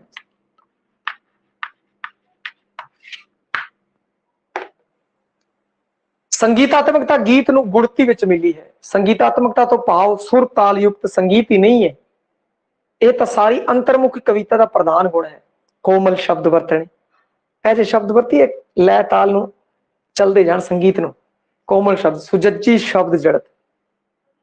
ਵਰਨਾ ਦਾ ਜੋੜ, ਅੱਖਰਾਂ ਦਾ ਟੁਕੜਾ ਸਹੀ ਥਾਂ ਤੇ, ਸੁਰ ਦੀ ਸਮਾਨਤਾ ਹੋਵੇ। ਇਸ ਦੁਆਰਾ ਇੱਕ ਐਜਾ ਸੰਗੀਤ ਪੈਦਾ ਹੋ ਜਾਵੇ। ਇਹ ਸੰਗੀਤਾਤਮਕਤਾ ਦਾ ਆਧਾਰ ਹੈ। ਸੁਚੱਜੀ ਸ਼ਬਦ ਜੜਤ, ਵਰਨਾਂ ਦਾ ਜੋੜ, ਅੱਖਰਾਂ ਦਾ ਟੁਕਾ ਸੁਰ ਦੀ ਸਮਾਨਤਾ। ਸੰਗੀਤ ਸ਼ਬਦ ਵਿੱਚ ਹੀ ਹੁੰਦਾ ਹੈ। ਬਾਹਰੀ ਸੰਗੀਤ ਨਾਲੋਂ ਆਂਤਰਿਕ ਸੰਗੀਤ ਵੱਧ ਮਹੱਤਵਪੂਰਨ ਹੈ, ਜੋ ਗੀਤ ਵਿੱਚ ਭਾਵ ਦੀ ਤਿੱਖਣਤਾ ਤੇ ਉਤੇਜਨਾ ਦਾ ਕਰਕੇ ਹੁੰਦਾ ਹੈ। ਤੇ ਗੀਤ ਦੇ ਅੰਦਰ ਸੰਗੀਤ ਹੈ ਜਿਹੜਾ, ਉਹ ਵੀ ਹੋਣਾ ਬੜਾ ਜ਼ਰੂਰੀ ਹੈ। ਅੱਜ ਕੱਲ੍ਹ ਇਹਦਾ ਵੱਧ ਪ੍ਰਯੋਗ ਕੀਤਾ ਜਾ ਰਿਹਾ ਹੈ। ਅੱਗੇ ਹੈ ਭਾਵ ਏਕਤਾ।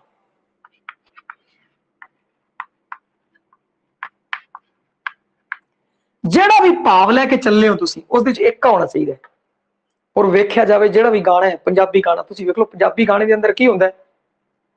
ਕਿ ਅਗਲੇ 3 ਮਿੰਟ ਦੇ ਅੰਦਰ 3 ਘੰਟਿਆਂ ਦੀ ਫਿਲਮ 'ਚ ਜਿਹੜਾ ਲੋਕ ਬਿਆਨ ਕਰਦੇ ਆ ਅਗਲੇ 3 ਮਿੰਟ ਕਰ ਦਿੰਦੇ ਆ। ਹੁਣ ਗਾਣੇ ਵਾਲੇ ਪਤਾ ਨਹੀਂ ਕਿਵੇਂ 3 ਮਿੰਟ ਦੇ ਅੰਦਰ।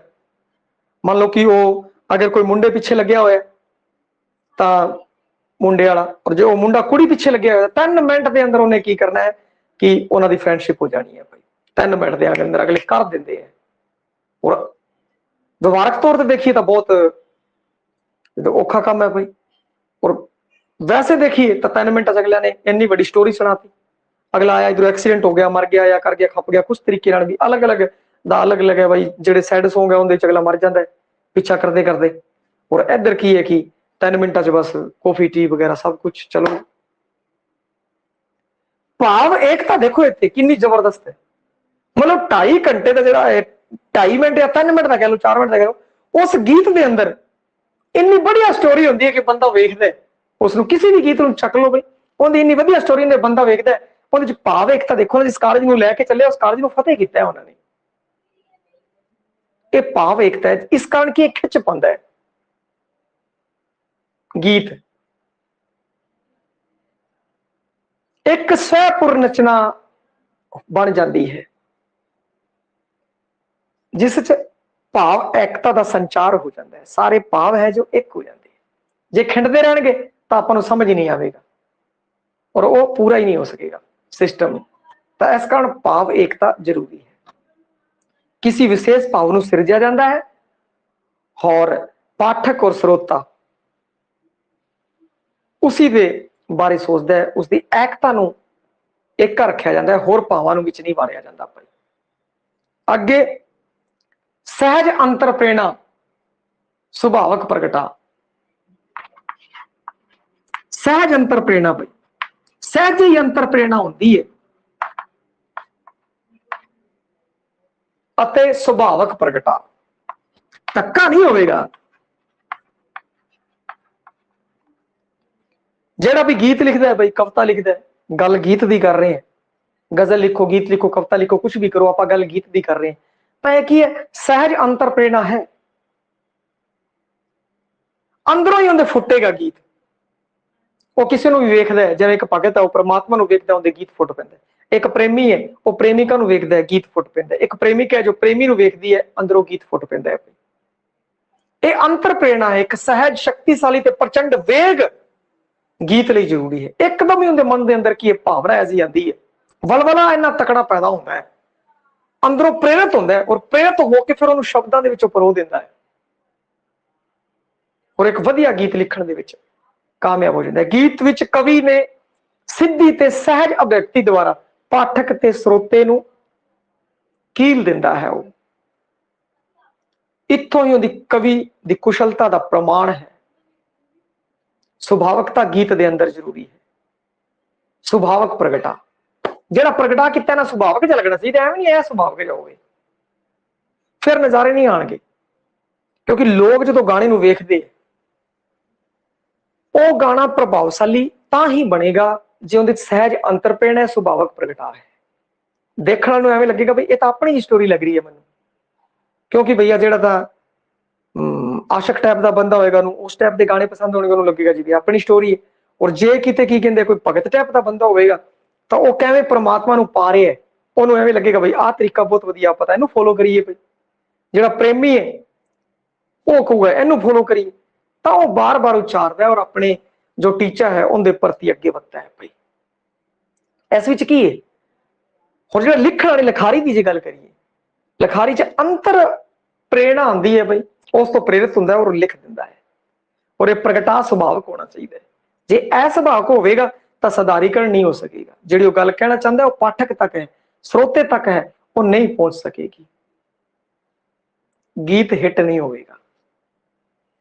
ਤਾਂ ਹੀ ਤੁਸੀਂ ਵੇਖਿਆ ਹੋਣਾ ਕੋਈ ਗੀਤ ਜਦੋਂ ਹਿੱਟ ਹੁੰਦਾ ਉਹਦੇ ਪਿੱਛੇ ਕਾਰਨ ਹੁੰਦੇ ਆ। ਉਹਦੇ ਅੰਦਰ ਉਹਨੇ ਅਲੰਕਾਰਾਂ ਦੀ, ਰਸ ਦੀ ਵਰਤੋਂ ਆਪਣੇ ਜਿਹੜਾ ਉਹਨੇ ਪ੍ਰਗਟਾ ਕੀਤਾ ਹੈ, ਸ਼ਬਦਾਂ ਦੀ ਜੜਤ ਕੀਤੀ ਹੈ, ਜਿਹੜਾ ਉਹਨੇ ਆਪਾ ਪ੍ਰਗਟਾਇਆ ਹੈ, ਉਹ ਇੰਨਾ ਸੁਭਾਵਕ ਹੈ ਕਿ ਆਪਾਂ ਨੂੰ ਬੜਾ ਵਧੀਆ ਲੱਗਿਆ। ਆਪਾਂ ਨੂੰ ਕਿ ਯਾਰ, ਆਹ ਬੜਾ ਵਧੀਆ ਵਧੀਆ ਬੋਲ ਜਿਵੇਂ ਸਤਿੰਦਰ ਸਰਤਾਜ ਦਾ ਗੀਤ ਆਇਆ ਸੀ ਬਈ, ਸਾਈਂ ਉਹ ਸਾਈਂ ਸਾਈਂ ਸਾਈਂ ਉਸ ਨੂੰ ਮਤਲਬ ਉਥੋਂ ਬ੍ਰੇਕ ਮਿਲਿਆ ਸੀ। ਤਾਂ ਜਿਹੜੇ ਥੋੜੇ ਭਗਤੀ ਭਾਵਨਾ ਰਕੇ ਬੰਦੇ ਸੀਗੇ ਮੇਰੇ ਵਰਗੇ, ਉਹਨਾਂ ਨੂੰ ਉਹ ਗੀਤ ਬੜਾ ਪਸੰਦ ਆਇਆ। ਉਹ ਕਹਿੰਦੇ ਬਈ ਕਮਾਲ ਦੀ ਗੀਤ ਹੈ ਭਾਈ ਤਾਂ ਬੜੇ ਉੱਥੋਂ ਪ੍ਰੇਰਿਤ ਹੋਏ ਉਹ। ਇਹ ਤਾਂ ਉਸ ਦੀ ਗੱਲ ਹੈ, ਪਰੰਤੂ ਸਰਤਾਜ ਨੇ ਜਦੋਂ ਇਹ ਗੀਤ ਲਿਖਿਆ ਹੋਣਾ, ਉਹ ਅੰਦਰੋਂ ਪ੍ਰੇਰਿਤ ਹੋਇਆ ਹੋਇਆ ਉਹਨੇ ਇੱਕ ਸੁਭਾਵਕ ਜਿਹਾ ਪ੍ਰਗਟਾ ਕੀਤਾ ਉਹਨੇ ਔਰ ਜਦੋਂ ਉਸ ਨੂੰ ਲੋਕਾਂ ਨੇ ਸੁਣਿਆ, ਤਾਂ ਉਹ ਜਿਹੜਾ ਮੈਸੇਜ ਦੇਣਾ ਚਾਹੁੰਦਾ ਸੀ, ਜੋ ਗੱਲ ਕਹਿਣਾ ਚਾਹੁੰਦਾ ਸੀ, ਉਹ ਚਲੀ ਗਈ। ਹੁਣ ਆਪਾਂ ਨੂੰ ਇੰਦਰਲੇ ਪੱਖ ਤੋਂ ਦੇਖਣਾ ਹੈ ਭਈ ਆਪਾਂ ਇੱਥੋਂ ਉਸ ਚੀਜ਼ ਨੂੰ ਸਮਝਣਾ ਇੱਥੇ ਰਾਈਟਰ ਹੈ ਇੱਥੇ ਲਿਖਾਰੀ ਹੈ, ਜਿਹੜਾ ਕਿ ਗੀਤ ਲਿਖ ਰਿਹਾ, ਗੀਤ ਦੇ ਤੱਤਾਂ ਦੀ ਵਰਤੋਂ ਕਰ ਰਿਹਾ। ਪਰੰਤੂ ਆਪਾਂ ਇਸ ਸਾਈਡ ਨਹੀਂ। ਇਸ ਸਾਈਡ ਆਪਾਂ ਨਹੀਂ ਕਿਉਂਕਿ ਇੱਕ ਗੀਤ ਜਿਹੜਾ ਲਿਖਾਰੀ ਹੈ ਉਸ ਦਾ ਕੰਮ ਹੈ, ਉਹ ਗੀਤ ਲਿਖਦਾ ਉਹਦੇ ਅੰਦਰ ਭਾਵਿਕਤਾ ਅੰਤਰ ਪ੍ਰੇਰਣਾ ਸੁਭਾਵਕ ਪ੍ਰਗਟਾ ਹੈ ਉਸ ਦੇ ਰਾਹੀਂ ਉਹ ਕਾਮਯਾਬ ਹੁੰਦਾ ਹੈ ਭਾਈ ਗੀਤ ਲਿਖਣ ਲਈ। ਉਹਦੇ ਅੰਦਰ ਦੀ ਚੀਜ਼ ਹੈ, ਪਰੰਤੂ ਆਪਾਂ ਉਸ ਨੂੰ ਕੀ ਗਿਆ ਇੱਥੋਂ ਵੇਖਿਆ, ਆਪਾਂ ਉਸ ਚੀਜ਼ ਨੂੰ ਵੇਖਿਆ। ਹੁਣ ਗੀਤ ਵਿਚਾਲੇ ਹੈ, ਜਿਵੇਂ ਮੇਰਾ ਮੂੰਹ ਹੈ ਵਿਚਾਲੇ ਹੈ, ਔਰ ਇਧਰਲੇ ਪਾਸੇ ਰਾਈਟਰ ਲਿਖ ਰਿਹਾ ਇੱਥੇ ਗੀਤ ਹੈਗਾ ਉਹਨੇ ਸਿਰਜਿਆ ਉਹ ਇੱਥੇ ਪ੍ਰਭਾਵ ਪਾ ਰਿਹਾ ਆਪਾਂ ਕੀ ਕਰਨਾ ਇੱਥੋਂ ਇੱਥੇ ਤੱਕ ਪਹੁੰਚਣਾ ਹੈ ਭਾਈ। ਭਾਵੇਂ ਆਪਾਂ ਗੀਤ ਨਾ ਲਿਖ ਸਕੀਏ। ਭਾਵੇਂ ਆਪਾਂ ਗੀਤ ਨਾ ਲਿਖ ਸਕੀਏ, ਪਰੰਤੂ ਆਪਾਂ ਜਿਹੜਾ ਗੀਤ ਵੇਖ ਰਹੇ ਹਾਂ, ਉਸ ਤਰ੍ਹਾਂ ਹੀ ਉਹਦੇ ਪਿੱਛੇ ਜਦੋਂ ਉਹਨੇ ਸਿਰਜਿਆ ਲਿਖਾਈ ਨੇ, ਤਾਂ ਉਦੋਂ ਕੀ ਸੋਚਿਆ? ਉਦੋਂ ਉਹਨੇ ਤੱਤ ਜਿਹੜੇ ਉਹ ਧਿਆਨ ਚ ਰੱਖੇ, ਉਹ ਆ ਸੀ ਭਈ ਭਾਵ, ਮਨ ਚ ਪੈਦਾ ਹੋਇਆ ਲਿਖਤਾ। ਨਿਜਤਾ ਉਹਦੀ ਨਿੱਜੀ ਪੀੜ ਹੈ। ਉਹ ਆਪਣੀ ਪੀੜ ਨੂੰ ਲੋਕਾਂ ਦੀ ਪੀੜ ਬਣਾਉਣ ਚ ਕਾਮਯਾਬ ਹੋਇਆ ਜਾਂ ਨਹੀਂ। ਜੋ ਕਾਮਯਾਬ ਹੋਇਆ ਭਾਵੇਂ ਉਹ ਕਵਿਤਾ ਹੋਵੇ, ਭਾਵੇਂ ਗਜ਼ਲ ਹੋਵੇ, ਉਹ ਹਿੱਟ ਹੋਵੇਗੀ। ਜੇ ਤੁਹਾਡੀ ਪੀੜ ਲੋਕ ਪੀੜ ਬਣ ਗਈ ਜਿਵੇਂ ਅਮਰਤਾ ਪ੍ਰੀਤਮ ਨੇ ਬਣਾਤੀ ਸੀ, ਹਿੱਟ ਹੋਈ। ਤੁਸੀਂ ਗੀਤ ਲਿਖਦੇ ਹੋ? ਆਪਣੀ ਭਾਵਨਾ, ਆਪਣੀ ਨਿਜਤਾ, ਆਪਣੀ ਪੀੜ ਜੇ ਲੋਕਾਂ ਦੀ ਬਣਾਤੀ ਤਾਂ ਹਿੱਟ ਹੋਵੇਗੀ। ਸੰਖੇਪਤਾ, ਸੰਖੇਪ ਹੋਵੇ ਬਈ, ਬੋਰ ਨਾ ਹੋ ਜੇ ਬੰਦਾ। ਸੰਗੀਤਾਤਮਕਤਾ, ਸੰਗੀਤ ਜ਼ਰੂਰੀ ਹੈ। ਭਾਵ ਏਕਤਾ। ਭਾਵ ਦੀ ਏਕਤਾ ਹੋਣੀ ਚਾਹੀਦੀ, ਖਿੰਡਣੇ ਨਹੀਂ ਚਾਹੀਦੇ। ਜੇ ਖਿੰਡ ਗਏ ਤਾਂ ਅਗਲੇ ਕਹਿਣਗੇ ਆ ਕੀ ਹੈ, ਗਿਆਸਾ ਜਾਂ ਬਦਲੋਗੇ, ਦੂਜਾ ਲਓ। ਸਹਿਜ ਅੰਤਰ ਪ੍ਰੇਰਣਾ। ਅੰਤਰ ਪ੍ਰੇਰਣਾ, ਸੁਭਾਵਕ ਪ੍ਰਗਟਾ ਹੁੰਦੇ ਅੰਦਰ ਹੋਣਾ ਚਾਹੀਦਾ।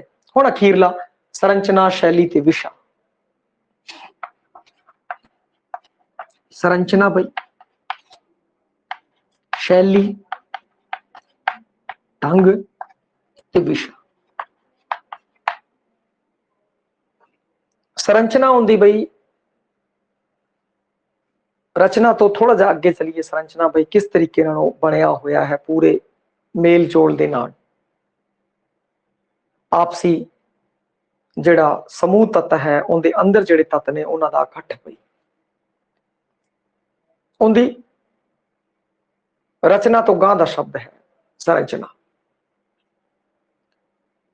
ਜੁੱਟਾਂ ਦਾ ਜੁੱਜਾਂ ਨਾਲ ਸੰਬੰਧ। ਇੱਕ ਜੁੱਟ ਹੈ ਔਰ ਉਹਦੇ ਅੰਦਰ ਜਿਹੜੇ ਹੋਰ ਛੋਟੇ ਛੋਟੇ ਜਿਨ੍ਹਾਂ ਨਾਲੋਂ ਜੁੱਟ ਬਣਿਆ ਹੈ, ਉਸ ਦਾ ਸੰਬੰਧ ਹੈ, ਸੰਰਚਨਾ ਹੈ। ਉਹ ਹੋਣੀ ਜ਼ਰੂਰੀ ਹੈ, ਜਿਵੇਂ ਆ ਦੇਖੋ, ਮੁੱਠੀ, ਔਰ ਇਹਨੂੰ ਖੋਲੀਏ ਤਾਂ ਇਹਦੇ ਅੰਦਰ ਪੰਜ ਉਂਗਲਾਂ ਪਈ ਆ ਜੁੱਟ ਹੈ ਔਰ ਇਹ ਜਿਹੜੇ ਨੇ ਜੁਜ ਹੈ। ਤਾਂ ਇਸ ਤਰੀਕੇ ਨਾਲ ਜੇ ਸਿਸਟਮ ਬਣੂਗਾ, ਕੋਈ ਵੀ ਹੈ, ਉਸਨੇ ਗੀਤ 'ਚ ਲਿਖਿਆ ਹੈ, ਤਾਂ ਉਸਦੀ ਸੰਰਚਨਾ ਇਸ ਤਰੀਕੇ ਨਾਲ ਹੋਣੀ ਚਾਹੀਦੀ ਹੈ। ਇੱਕ ਮੁੱਠ ਹੋਣੀ ਚਾਹੀਦੀ ਹੈ ਭਈ ਖਿਲਰਮੀ ਨਹੀਂ ਹੋਣੀ ਚਾਹੀਦੀ। ਸ਼ੈਲੀ ਜ਼ੋਰਦਾਰ ਸ਼ੈਲੀ ਢੰਗ ਜਿਹੜਾ ਹੈ ਉਹਦਾ, ਲਿਖਣ ਢੰਗ ਉਹ ਜ਼ੋਰਦਾਰ ਹੋਵੇ। ਵਿਸ਼ਾ ਵਿਸ਼ਾ ਕੋਈ ਵੀ ਹੋ ਸਕਦਾ ਬਈ ਗੀਤ ਦਾ, ਜੋ ਤੁਹਾਡੇ ਮਨ ਚ ਆਵੇ, ਜਿਹੜਾ ਕਿਸੇ ਵੀ ਵਿਸ਼ਾ ਉੱਤੇ ਗੀਤ ਲਿਖਿਆ ਸਕਦਾ ਹੈ। ਪ੍ਰੇਮ ਦੇ ਉੱਤੇ, ਦੁੱਖ ਉੱਤੇ, ਉਤਸ਼ਾਹ ਦੇ ਉੱਤੇ, ਵੀਰ ਦੇ ਉੱਤੇ, ਦਰਦ ਦੇ ਉੱਤੇ, ਪੀੜ ਦੇ ਉੱਤੇ, ਮਰਗ ਦੇ ਉੱਤੇ, ਸਰਗ ਦੇ ਉੱਤੇ, ਉਤਸਵ ਦੇ ਉੱਤੇ, ਜਨਮ ਦੇ ਉੱਤੇ, ਕਿਸ ਮਰਜ਼ੀ ਵਿਸ਼ੇ ਦੇ ਅੰਦਰ ਤੁਸੀਂ ਗੀਤ ਲਿਖ ਸਕਦੇ ਹੋ। ਪਰ ਵਰਡਸਵਰਥ ਨੇ ਤਾਂ ਇਹ ਕਿਹਾ ਸੀਗਾ ਕਿ ਛੋਟੀ ਤੋਂ ਛੋਟੀ ਚੀਜ਼ ਤੋਂ ਕਵੀ ਦੇ ਮਨ ਵਿੱਚ ਇੱਕ ਗੰਭੀਰ ਭਾਵ ਉਤੇਜਿਤ ਹੋ ਜਾਂਦਾ ਹੈ। ਛੋਟੇ ਛੋਟੇ ਵਿਸ਼ੇ ਬਾਰੇ ਵੀ ਗੀਤ ਲਿਖਿਆ ਜਾ ਸਕਦਾ ਹੈ। ਔਰ ਗੀਤ ਦੀ ਸੰਰਚਨਾ ਲਈ ਏਕਤਾ ਤੇ ਇਕਾਗਰਤਾ ਜ਼ਰੂਰੀ ਹੈ। ਇੱਕ ਪ੍ਰਮੁੱਖ ਤੇ ਕੇਂਦਰੀ ਭਾਵਨਾ ਹੁੰਦੀ ਹੈ, ਜਿਸ ਦਾ ਪ੍ਰਗਟਾ ਸ਼ੁਰੂ ਤੋਂ ਲੈ ਕੇ ਅਖੀਰ ਤੱਕ ਹੁੰਦਾ ਹੈ। ਇਸ ਲਈ ਭਾਵਨਾ ਦੀ ਏਕਤਾ ਦੀ ਵੀ ਅਤ ਲੋੜ ਹੈ। ਹੋਰ ਗੀਤ ਦਾ ਆਂਤਰਿਕ ਵਿਸਾ- ਵਿਕਾਸ ਹੋਵੇ ਸੁੰਦਰਤਾ ਜਨਮ ਲੇਵੇ ਔਰ ਪੂਰੀ ਤਰ੍ਹਾਂ ਸ਼ਬਦ ਸੰਗੀਤ ਤੇ ਲੈ ਨੂੰ ਜੋੜ ਕੇ ਵਿਸ਼ੇਸ਼ ਕੋਮਲਤਾ ਮਧੁਰਤਾ ਪੈਦਾ ਕਰ ਦੇਵੇ ਸਿਰਜ ਦੇਵੇ ਤਿਬਰ ਭਾਵਨਾਵਾਂ ਦਾ ਵੈਗ ਜਦੋਂ ਤਰਦੀ ਲੈਅ ਅਤੇ ਸ਼ਬਦ ਸੰਗੀਤ ਨਾਲ ਹੁੰਦਾ ਹੈ ਤਾਂ ਇਹ ਗੀਤ ਵਿੱਚ ਅਲੌਕਿਕ ਆਨੰਦ ਪੈਦਾ ਕਰ ਦਿੰਦਾ ਜਦੋਂ ਇਹ ਸਾਰੇ ਤੱਤ ਜਦੋਂ ਇਕੱਠੇ ਹੋ ਜਾਣਗੇ ਇਹਨਾਂ ਸਾਰੇ ਤੱਤਾਂ ਦੇ ਉੱਤੇ ਜਦੋਂ ਗੌਰ ਕੀਤਾ ਜਾਵੇਗਾ ਜਦੋਂ ਇਹ ਸਾਰੇ ਇਕੱਠੇ ਹੋ ਜਾਣਗੇ ਤਾਂ ਇੱਕ ਅਲੌਕਿਕ ਆਨੰਦ ਆਵੇਗਾ, ਇੱਕ ਮਹਾਨ ਰਚਨਾ ਹੈ ਜੋ ਪੈਦਾ ਹੋ ਜਾਵੇਗੀ।